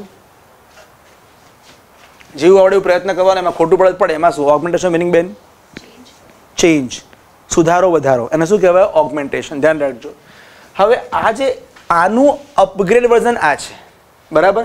આનો પ્રથમ પ્રયોગ થયો ઓગણીસો સિત્યાસીમાં. ફર્સ્ટ અને નાઇન્ટીન એટી સેવનમાં લોન્ચ કર્યું. આના દ્વારા સ્રોસ શ્રેણીના ઉપગ્રહ અવકાશમાં મૂકવાના પ્રયત્ન કર્યા. કયા? સ્રોસ આ કયું હતું? રોહિણી. તો જુઓ એસએલવી લોન્ચિંગ વ્હીકલ છે. એનું અપગ્રેડ શું થયું? એએસએલવી રોહિણી સેટેલાઇટ છે. એનું અપગ્રેડ કયું છે? સ્રોસ તો સ્રોસનું પૂરું નામ છે stretched stretched Rohini satellite system આનું પૂરું નામ છે સ્ટ્રેચડ રોહિણી સેટેલાઇટ સિસ્ટમ તો રોહિણીનું ફૂલ ફોર્મ રોહિણીનું નવું રૂપ કયું? SROSS સ્રોસનું full form stretched Rohini satellite system આના કુલ ચાર પ્રયોગ થયા. કેટલા પ્રયોગ થયા? ચાર. ચાર પ્રયોગ કયા થયા તો સાંભળો. ઓગણીસો સિત્યાસી, ઓગણીસો ઇઠ્યાસી, ઓગણીસો બાણું, ઓગણીસો ચોરાણું. ચાર પ્રયોગ થયા. A S L V D one A S L V D two A S L V D three A S L V D four unsuccess success success શરૂઆતના બેમાં સફળ, પછીના બેમાં નિષ્ફળ. તો કુલ ચાર પ્રયોગ ચાર પ્રયોગ કોના થયા? એએસએલવીના પણ પરીક્ષામાં મેન્સમાં લખતો હોય તો ચોકડી નહીં મારવાની એમ. નિષ્ફળ નિષ્ફળ, સફળ સફળ શબ્દ આવા લખવાના. પરીક્ષાના મેન્સમાં આવા કોઈ સિમ્બોલ કરવાના નહીં. ધ્યાન રાખજો, ચોકડીના કે કોઈ કોઈ સિમ્બોલ ચાલે નહીં. આ તો મેં શોર્ટમાં બતાવ્યું કે ભાઈ નિષ્ફળ નિષ્ફળ, સફળ સફળ. તમારે શું લખવાનું બેન? પારસ શું લખવાનું? નિષ્ફળ નિષ્ફળ લખી નાખો. નિષ્ફળ નિષ્ફળ, સફળ સફળ. ખબર પડી? તો સ્ટાર્ટિંગના બેમાં શું થયા આપણે? નિષ્ફળ. પછીના બેમાં શું થયા આપણે? સફળ. ખબર પડી ગઈ? તો આ થઈ ગયું બીજી પેઢીનું. તો ભારત ભારતનું બીજી પેઢીનું લોન્ચિંગ કયું છે? કયું છે? એએસએલઈ પ્રથમ પેઢીનું કયું છે? એસએલઈ ખબર પડે છે? ઓકે ચલો, પછી ત્રીજી પેઢીનું બનાવ્યું આપણે પીએસએલવી આવ્યું હવે? હવે પીએસએલવી આવ્યું. તો આપણે પેલા આઈઆરએસમાં પીએસએલવી બાવીસ, ચોવીસ, છવ્વીસ, યાદ છે? પછી સત્યાવીસ, અઠ્યાવીસ, ઓગણત્રીસ, યાદ કરો, એકત્રીસ બત્રીસ તેત્રીસ તો પીએસએલવી ત્રીજી પેઢીનું. તો ભારતનું ત્રીજી પેઢીનું કયું છે? પીએસએલવી આનું પૂરું નામ છે પોલર. બોલો, આગળ ત્રણ નામ શું આવશે? સેટેલાઇટ લોન્ચ વ્હીકલ તો unpolar polar satellite launch vehicle PSLV પ્રથમ પીએસએલવી ઓગણીસો ત્રાણુંમાં અવકાશમાં ગયું. તો ભારતનું પ્રથમ પીએસએલવી કઈ સાલમાં ગયું? Nineteen ninety three. તો ભારતનું પ્રથમ પીએસએલવી ઓગણીસો ત્રાણુંમાં અવકાશમાં ગયું. ક્લિયર છે? બરાબર? પોલર મતલબ શું? ધ્રુવીય. ધ્રુવીય વિસ્તારમાં ઉપગ્રહ મૂકવાની વાત ચાલે છે, બરાબર? તો આનો ઉદ્દેશ શું હતો? ધ્રુવીય કક્ષામાં હળવા વજનના ઉપગ્રહો મૂકવા. એને કહેવાય, ધ્રુવીય કોને કહેવાય? તો જુઓ. આડી કક્ષા શું કહેવાય? વિષુવૃત્તીય ઊભીને શું કહેવાય? ધ્રુવીય. તો ધ્રુવીય કક્ષા મતલબ ઊભી કક્ષામાં મૂકવાનો ઉદ્દેશ્ય હતો, બરાબર? ઓકે? પીએસએલઈ પહેલું કઈ સાલમાં ગયું? ત્રાણુંમાં. હવે આ જે ઉપગ્રહ છે ને, એમાં ઈંધણનું દહન ચાર તબક્કામાં થાય પ્રશ્ન પૂછાય. તો પીએસએલવીમાં ઈંધણનું દહન કેટલા તબક્કામાં થાય? ચાર તબક્કામાં. પહેલો તબક્કો ઘન, બીજો પ્રવાહી, ત્રીજો ઘન, ચોથો પાછો પ્રવાહી. યાદ રાખજો સોલિડ લિક્વિડ સોલિડ લિક્વિડ તો પીએસએલયુમાં ઈંધણનું દહન ચાર તબક્કામાં થાય. પહેલું કયું? ઘન. બીજું કયું? પ્રવાહી. ત્રીજું કયું? ઘન. ચોથું કયું? પ્રવાહી. ક્લિયર છે? અને પહેલું પીએસએલઈ કઈ સાલમાં ગયું? નાઇન્ટીન નાઇન્ટી થ્રીમાં બરાબર? ઓકે બીજી વાત. આ પીએસસીના અલગ અલગ મોડલ છે. વેરિયન્ટ્સ છે. જેમ ઓડીના કેટલા મોડલ છે? ઓડીના ઓડી બંગડીવાળી ગાડી. એના કેટલા મોડલ છે? બરાબર? પછી આપણે હોન્ડાના કેટલા મોડલ આવે? એક્ટિવાના કેટલા મોડલ છે? One G two G three G ખબર? મોડલ છે. તો એમ પીએસએલના પણ મોડલ છે. તો પીએસએલના કયા મોડલ છે?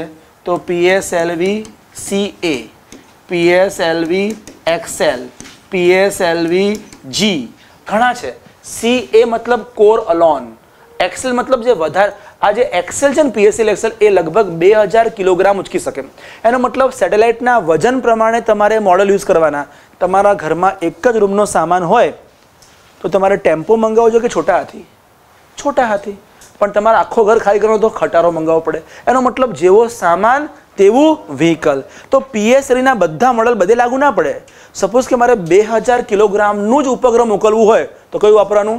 એક્સેલ સપોઝ મારે અગિયારસોનું મોકલવું હોય તો કયું વાપરવાનું? કોરલોન ખબર પડે? આવા અલગ અલગ અલગ અલગ લોન્ચિંગ વ્હીકલની અલગ અલગ પેલોડની કેપેસિટી છે. અને એ પ્રમાણે જ વાપરવાનું. એ જ એ જ બુદ્ધિ કહેવાય. બાકી બુદ્ધિ ના કહેવાય હવે એક રૂમનો સામાન હોય આખો ખટારો મંગાવો તો લોકો હશે જો આ મૂર્ખને ખબર નહીં પડતી એવો સીન થાય. ડેપ્રિશિએશન થાય કોમર્સવાળા શું થાય? ડેપ્રિશિએશન કોમર્સ કેટલા છે? કોમર્સવાળા ડેપ્રિશિએશન ખબર પડે ને? ઘસારો થાય. એટલે યોગ્ય વસ્તુ માટે યોગ્ય વાપરવાનું. બરાબર, હું તો કોમર્સ નથી, પણ મેં તો એમએસસી કર્યું, પછી એમબીએ કર્યું. બોલો શું કરવાનું? એમએસસી પ્લસ એમબીએ આવું કરી કરીને અહીં આવી ગયો ક્લાસમાં ખબર પડી તો એમબીએ ક્યાંય કામમાં ના આવે. પણ એક એજ હોય ને આપણે ચડાવે લોકો કે એમબીએ કર, બહુ નોકરી સારી મળશે, આમ નથી અમને પછી ફરી નાખ્યા દોઢ લાખ. એ કરવું જ પડે ને? ના કરતો ઘરેથી પટ્ટા પડે. એટલે કરી નાખ્યું. એમાં ડિસ્ટિંક્શન છે મારું. એક્સ્ટ્રીમ ઇસ્ટ એક્સ્ટ્રીમ વેસ્ટ થઈ ગયું. પણ મને ખબર પડે FIFO LIFO first in first out last in first out બરાબર, પછી બીજું શું આવે ખબર છે? ટ્રેડ ડેફિશિટ વેપાર ખાદ કોને કે બેન વેપાર ખાદ કોમર્સ વેપાર ખાદ સરસ બેન, ખોટું. બીજું કોઈ? વેપાર ખાદ ટ્રેડ ડેફિશિટ હે? આવા જ આન્સર આપજો, એટલે પાસ થઈ જાવ વેપાર ખ્યાત કોને કહેવાય? ડેપ્રિશિએશન શબ્દ એટલા માટે પૂછે. વેપાર ખાત કોમર્સ બેન. વેપાર ખાત? આજ તો સાયન્સ સોલે ના આવડે. હું પણ સાયન્સ સોલે પણ આવડે. આવું જ મેં ગોખ્યું હતું થોડું બધું. જ્યારે આયાત નિકાસ કરતાં વધી જાય, તેને શું કહેવાય? વેપાર ખાત. આયાત નિકાસ કરતાં વધી જાય, શું કહેવાય વેપાર. આવું સાહેબે શીખવાડ્યું પણ તમે જ્ઞાન નહીં હોય. ઓકે બીજું. વેપાર બીજું કોને કહેવાય? આયાત કરવામાં આવતી વસ્તુ મોંઘી હોય ને નિકાસ કરો એ સસ્તી હોય, ત્યારે પણ શું થાય વેપાર કર. આ બે ડેફિનેશન એની આવે. જ્યાં સુધી મને ખબર ત્યાં સુધી, પણ તમને આગળ ખબર નહીં. પીએસઆઈ ખબર પડી તને? ચાર ચરણમાં ઘન પ્રવાહી ઘન પ્રવાહી. બરાબર? એના અલગ અલગ મોડલ કોર અલોન હોય ને, એમાં ખાલી એન્જિન હોય. સાથે બીજા સ્ટ્રેપ ઓન મોટર્સ લાગેલા હોય. છ મોટર્સ ના હોય એમાં. ખાલી કોર એન્જિન હોય ને તો ખાલી ઓછું વજન લઈ જાય, પણ સાથે બીજા સ્ટ્રેપ ઓન મોટર્સ હોય ને, એ વધારે વજન ઉચકી જાય, એ રીતે હોય. તો અલગ અલગ છે એના વેરિયન્ટ છે. આ થઈ ગયું તમારું ત્રીજી પેઢીનું. ચોથી પેઢીનું આવે છે જીએસએલવી શું આવશે? જીએસએલવી જીઓ સિંક્રોનસ આગળ શું આવશે? સેટેલાઇટ લોન્ચ વ્હીકલ બરાબર કોમન છે. પહેલું જીએસએલવી બે હજાર એકમાં ગયું. ધ્યાન રાખજો. પહેલું જીએસએલવી કઈ સાલમાં ગયું? બે હજાર એકમાં. પહેલું પીએસએલવી ક્યારે ગયું? ઓગણીસો ને ત્રાણુંમાં પહેલું એએસએલવી ઓગણીસો સિત્યાસીમાં આવું યાદ રાખવાનું ફેક્ટ પૂછાય. જીઓ સિંક્રોનસ આગળના ત્રણ શબ્દ લખતો નથી, બરાબર? સેટેલાઇટ લોન્ચ વેહિકલ ઓકે આનો ઉદ્દેશ્ય શું હતો? પેલો શું હતું? ધ્રુવીય કક્ષામાં ઉપગ્રહો મૂકવા. આમાં શું આવશે? વિષુવૃત્તિ કક્ષામાં મૂકવા. તો આનો ઉદ્દેશ શું આવશે? વિષુવૃત્તિ કક્ષામાં ભારે વજનના ઉપગ્રહો. આનો ઉદ્દેશ્ય આવશે વિષુવ વૃત્તીય કક્ષામાં ભારે વજનના ઉપગ્રહો શું આવશે વિશ્વ કક્ષામાં ભારે વજનના ઉપગ્રહો પેલું શું હતું પેલું શું હતું ધ્રુવીય કક્ષામાં ભારે વજન આમાં શું આવશે વિશ્વ કક્ષામાં ભારે વજનના ઉપગ્રહો મૂકવા બરાબર ઓકે પહેલું દિવસે ક્યારે ગયું બે હજાર એકમાં આમાં ઈંધણનું દહન ત્રણ તબક્કામાં થાય પહેલામાં કેટલા હતું ચાર આમાં ઘન પ્રવાહી અને ત્રીજું આવશે ક્રાયોજેનિક. યાદ આવ્યું કઈ? યાદ આવ્યું? ક્રાયોજેનિક ભણી ગયા આપણે. તો ક્રાયોજેનિક શેમાં વપરાય? જીએસએલવીમાં પીએસએલવીમાં ના આવે તો આમાં ઈંધણનું દહન ત્રણ તબક્કામાં થાય. ઘન, પ્રવાહી. એકચ્યુઅલી છે ને, જીએસએલવીનો વિકાસ પીએસએલવીમાંથી જ થયો છે. એ લોકોએ શું કર્યું? પીએસએલના છેલ્લા બે તબક્કા કાઢી નાખ્યા. અને શું મૂકી દીધું? ક્રાયોજેનિક. શું બની ગયું એ? જીએસએલવી. ખબર પડી ગઈ? તો જીએસએલવી કોના માટે ડેવલપ થયું? પીએસએલ. કયા ચરણનું, કઈ પેઢીનું? ચોથી. ચોથી પેઢી લોન્ચિંગ વ્હીકલ છે. બરાબર? ઓકે. હવે આના પણ કેટલાક મોડલ છે? G S L V mark one G S L V mark two G S L V mark three ધ્યાન આપજો. એમાં આ બંધ થઈ ગયું છે. આ નથી. મેક વન પાછું લઈ લીધું છે. કંઈ ટેકનિકલ ફોલ્ટ હતો. આમાં વપરાય છે સીઈ સેવન પોઈન્ટ ફાઈવ યાદ આવ્યું કઈ? What was CE seventy five cryogenic engine અને આમાં વપરાય છે સીઈ ટ્વેન્ટી શું વપરાય છે? સીઈ ટ્વેન્ટી આ જે જીએસએલઈ મેક થ્રી છે ને, એને એલવીએમ પણ કહેવાય છે. LVM three launching vehicle machine three તો જીએસએલવી મેક થ્રીનું બીજું નામ છે એલવીએમ થ્રી અત્યારે આના માટે કોમન વર્ડ એલવીએમ જ વપરાય છે અને સૌથી સ્ટ્રોંગેસ્ટ રોકેટ છે. ચાર ટન વજન લઈ જાય. કેટલું ટન? ચાર ટન. આ ચાર ટન લઈ જાય. અને આને પાંચ ટનમાં કન્વર્ટ કરવા માટે પણ કામ અત્યારે થઈ રહ્યું છે. એટલે બધું ડેવલપમેન્ટ સ્ટેજમાં છે.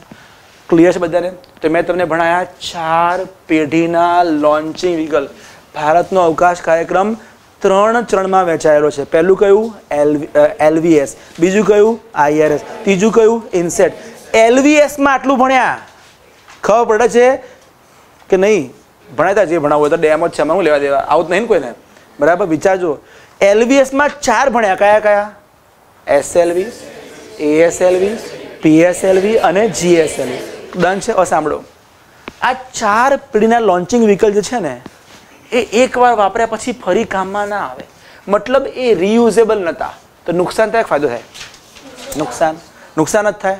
એટલા માટે આપણે પછી નક્કી કર્યું, બે હજાર બારમાં ભારતીય સંસદ આજે એમ કે તમે લખ્યું છે મેક મેક બરાબર ઓકે તો બે હજાર બારમાં આપણે વિચાર્યું કે સારું જેટલું પણ આપણે વાંચીએ છીએ ને, જેટલું પણ વાપરીએ છીએ ને, વિચાર કરો, દર વખતે નવનો જેમ કે સિમ્પલ એક્ઝામ્પલ આપું, મમ્મી રોટલી બનાવે દર વખતે પાટલો નવો લાવવાનો થાય તો. ચાલે આવું ઘરમાં? વેલણ નવું. સવાર નવું વેલણ, બપોરે નવું સાંજે નવું વેલણ. ચાલે એવું એવું હોય નહીં, ઘરમાં તો ખાલી કહું છું. સિવાય કે આપણને મારતા વેલણ તૂટી ગયું હોય તો. બરાબર કે પણ દર વખતે રોટલી બનાવ નવું વેલણ પોસાય?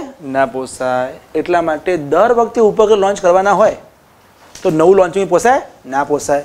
એટલા માટે બે હજાર બારમાં ભારતીય સંસદમાં કાયદો પસાર થયો કે આપણે એક એવું લોન્ચિંગ વ્હીકલ બનાવવું જે ફરીથી વાપરી શકાય. તો ભારતનું પાંચમી પેઢીનું લોન્ચિંગ વ્હીકલ છે આરએલવી ટીડી તો ભારતનું ચાર પેઢી ભણી ગયા, પાંચમી પેઢી.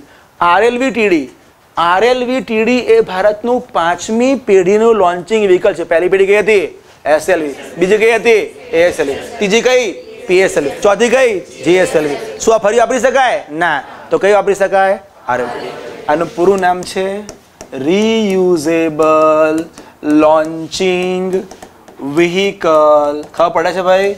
આનું ટેકનોલોજી ડેમોન્સ્ટ્રેશન આનું પૂરું નામ. આ ભારતનું પાંચમી પેઢીનું લોન્ચિંગ વ્હીકલ છે. Reusable launching vehicle T for technology D for demonstration demonstration મતલબ આ ડેમો છે ને? ડેમોન્સ્ટ્રેશન મતલબ ડેમો આ ડેમો ડેમોન્સ્ટ્રેશનનું શોર્ટ ફોર્મ ડેમો થઈ ગયું, બરાબર ઓકે તો reusable launching vehicle technology demonstration કઈ પેઢીનું કહેવાય આ? પાંચમી પેઢીનું ફિફ્થ જનરેશન આમાં કુલ ચાર પરીક્ષણ થાય. લેક્સ હેક્સ રેક્સ અને સ્પેક્સ આ ચાર પરીક્ષણ થઈ ચૂક્યા છે આના. આના ચાર પરીક્ષણ થઈ ચૂક્યા છે. આના ચાર આના ભાગ છે. લેક્સ એટલે લેન્ડિંગ, ફ્લાઇટ, એક્સપેરિમેન્ટ. હેક્સ એટલે હાઇપરસોનિક ફ્લાઇટ એક્સપેરિમેન્ટ. રેક્સ એટલે રિટર્નિંગ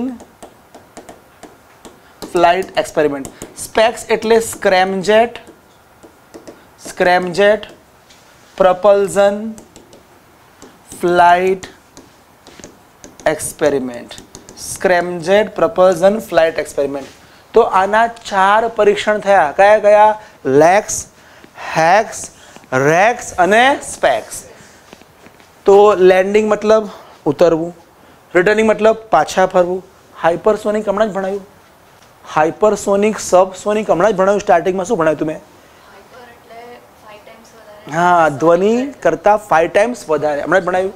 મેં કીધું કે હવામાં ધ્વનિની ઝડપ કેટલી છે ત્રણસો બત્રીસ મીટર પર સેકન્ડ. એ ઝડપ એટલે શું કહેવાય? ને સોનિક.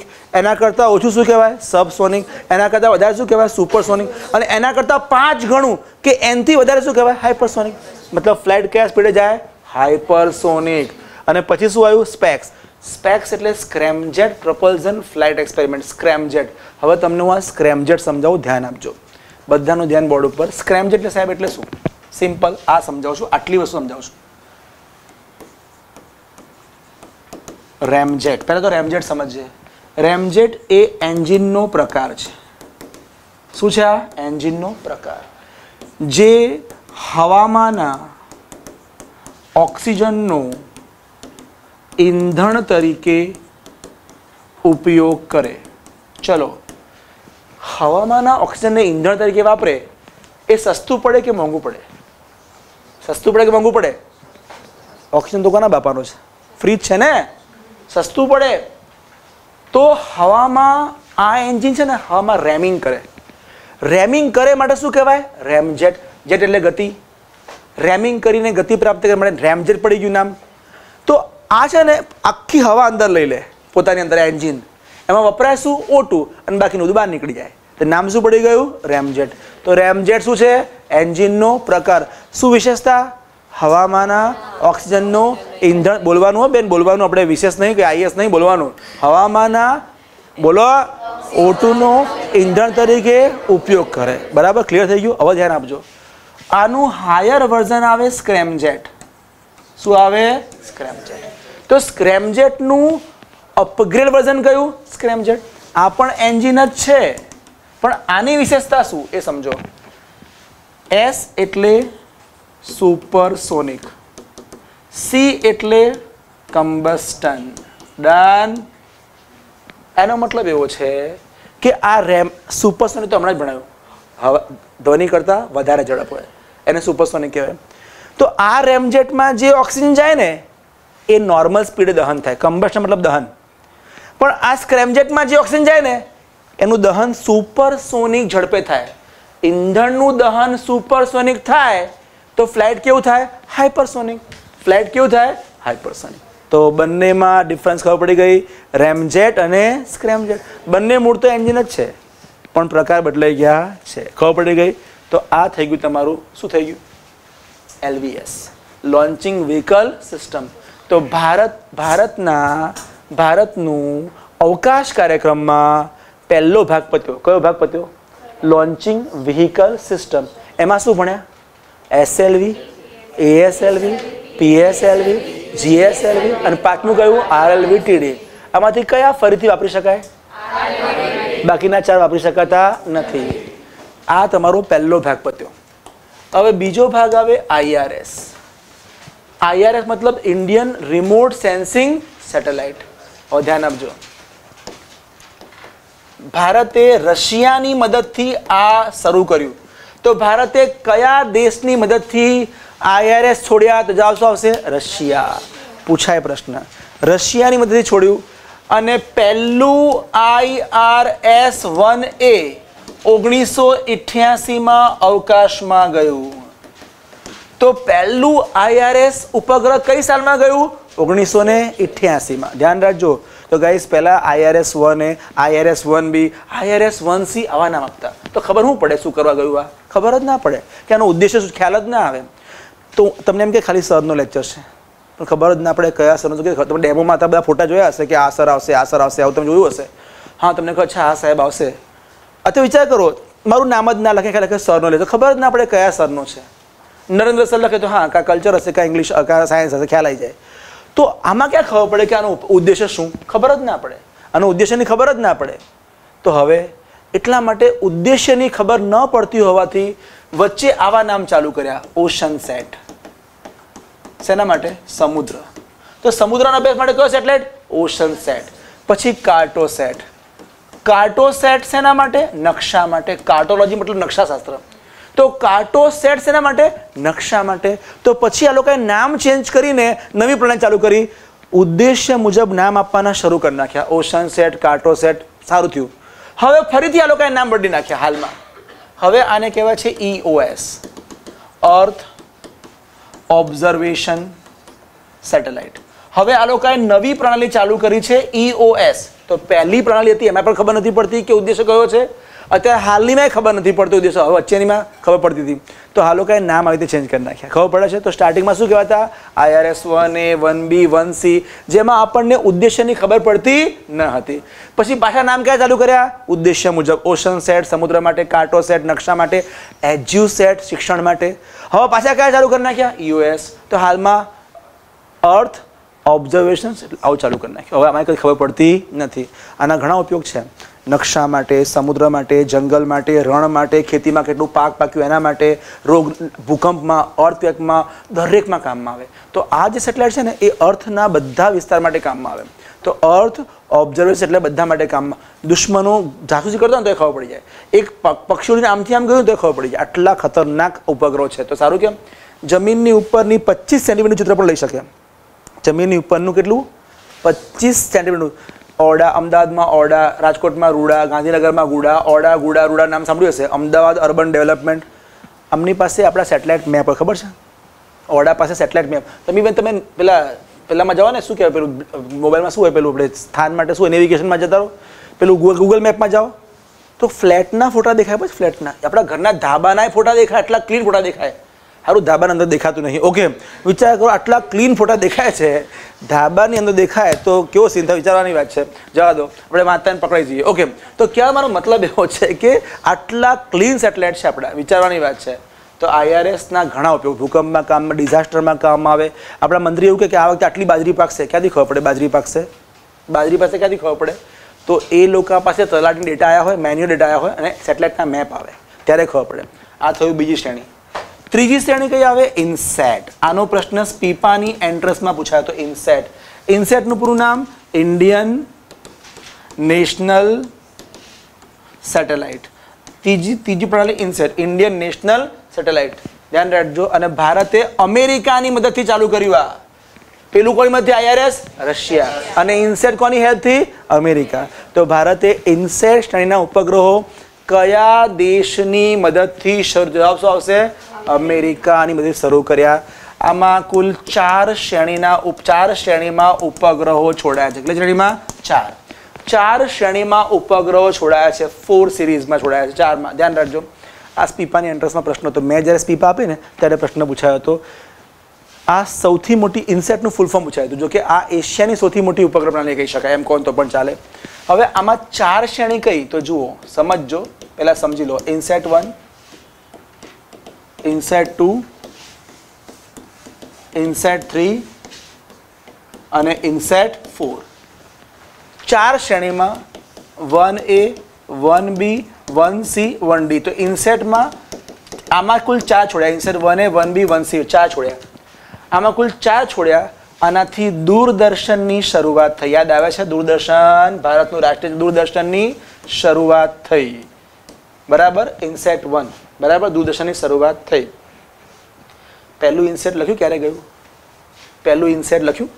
પહેલું ઇન્સેટ વન એ લખી દો ઓગણીસો ત્ર્યાસીમાં પ્રથમ ઇન્સેટ વન એ ઓગણીસો ત્ર્યાસીમાં ગયું. પહેલું આઈઆરએસ ક્યારે ગયું હતું? ઓગણીસો ને ઇઠ્યાસીમાં પહેલું ઇન્સેટ ક્યારે ગયું? ઓગણીસો ને ત્યાસીમાં એટી થ્રીમાં ઓકે ચલો દૂરદર્શન પછી આમાં જુઓ. INSAT two A two B two C two D અને ટુ ઈ આમાં કેટલા છોડ્યા? પાંચ. આમાં પાંચ છોડ્યા. આમાં એસટીડી પ્રસારણ શરૂ થયું. એસટીડી યાદ છે? પેલા પીળા ડબલા? બંધ થઈ ગયા. એસટીડી સ્ટાર્ટ થયું અને રેડિયો કોમ્યુનિકેશન સરળ થયું. રેડિયો પ્રસારણ સરળ થયું. રેડિયો પ્રસારણ વધારે સરળ થયું. મેક્સિમમ એફએમ ડેવલપ થયા. બરાબર? ઓકે? ચલો, પછી three A three B three C three D અને થ્રી ઈ આમાં કેટલા થયા? પાંચ. આમાં પણ પાંચ છોડવામાં આવ્યા.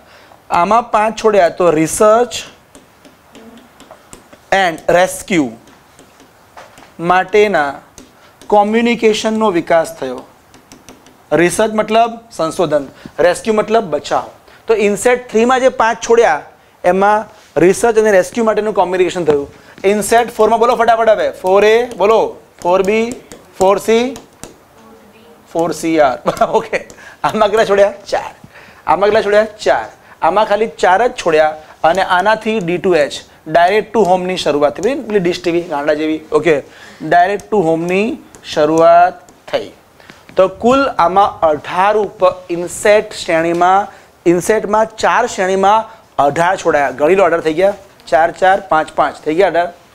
અને આનાથી આ પરિવર્તન દેશમાં આવ્યા. આ પરિવર્તન દેશમાં આવ્યા.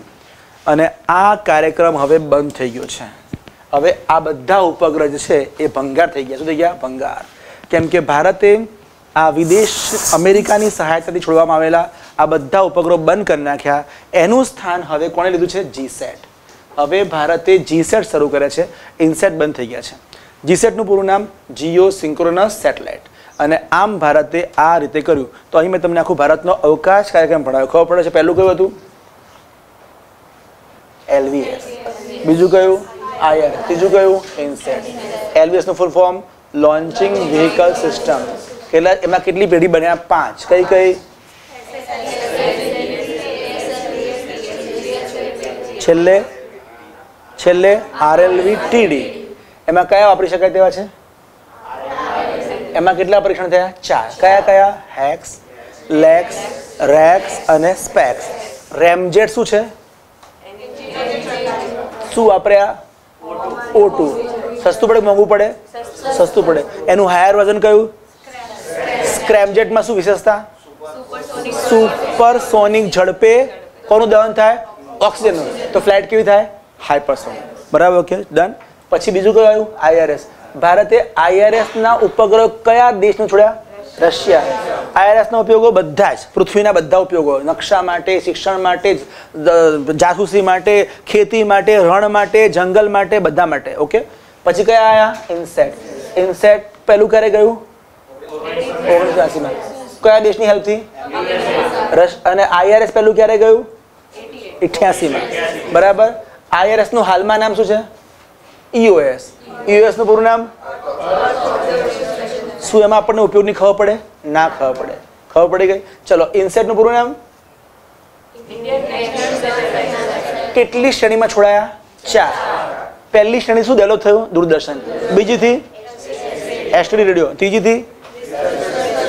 બચાવ અને રેસ્ક્યુ બચાવ અને સંશોધન. અને ત્રીજામાં D to H direct to home હવે આ છે ચાલુ? ના. ઇન્સેટ બધા બંધ થઈ ગયા. હવે ચાલુ શું થયું જી સેટ તો લખો છેલ્લી નોંધ. ભારતે છેલ્લી નોંધ લખો. બસ તમારો બસ સંબંધ પૂરો આજે. ભારતે ભારતે ઇન્સેટ શ્રેણીના ઉપગ્રહો બંધ કરીને ભારતે ઇન્સેટ શ્રેણીના ઉપગ્રહો બંધ કરીને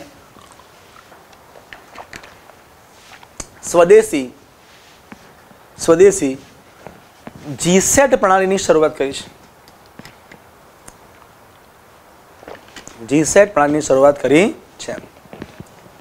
ડન ઓકે તો thank you for the cooperation તમે બહુ સરસ ભણ્યા. ઓકે મને બહુ મજા આવી તમને ભણાવવામાં. ઓકે અને આ જ્ઞાન હવે ફરી ના લેવું પડે એવું રાખવાનું. સપોઝ તમે એડમિશન લો છો, તો ભવિષ્યમાં હું તમને આ ના પણ ભણાવું આવડવું જોઈએ. ખબર પડે જો કે ભણાવીશ જ. પણ એ વખતે તમને બધું યાદ આવવું જોઈએ. તો આને શું કરવું પડે?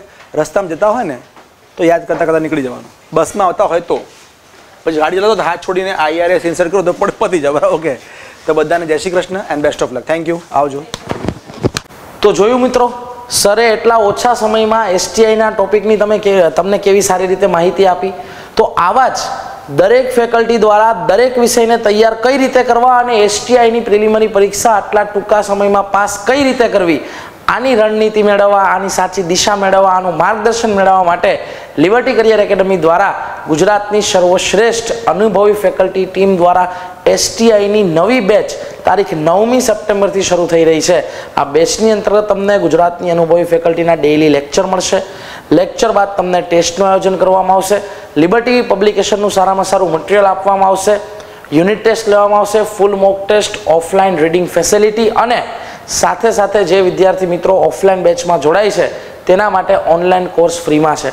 અને મિત્રો, તારીખ નવમી સપ્ટેમ્બર સુધી એડમિશન લેનાર વિદ્યાર્થીઓનું દસ હજાર રૂપિયા જેટલું ડિસ્કાઉન્ટ પણ આપવામાં આવે છે. તો જે વિદ્યાર્થીઓ આ વખતે એસટીઆઈ બનવાનું સપનું જોઈ રહ્યા છે, એના માટેની આ એક લિબર્ટી કરિયર એકેડમી દ્વારા જોરદાર બેચ લઈને આવી રહી છે.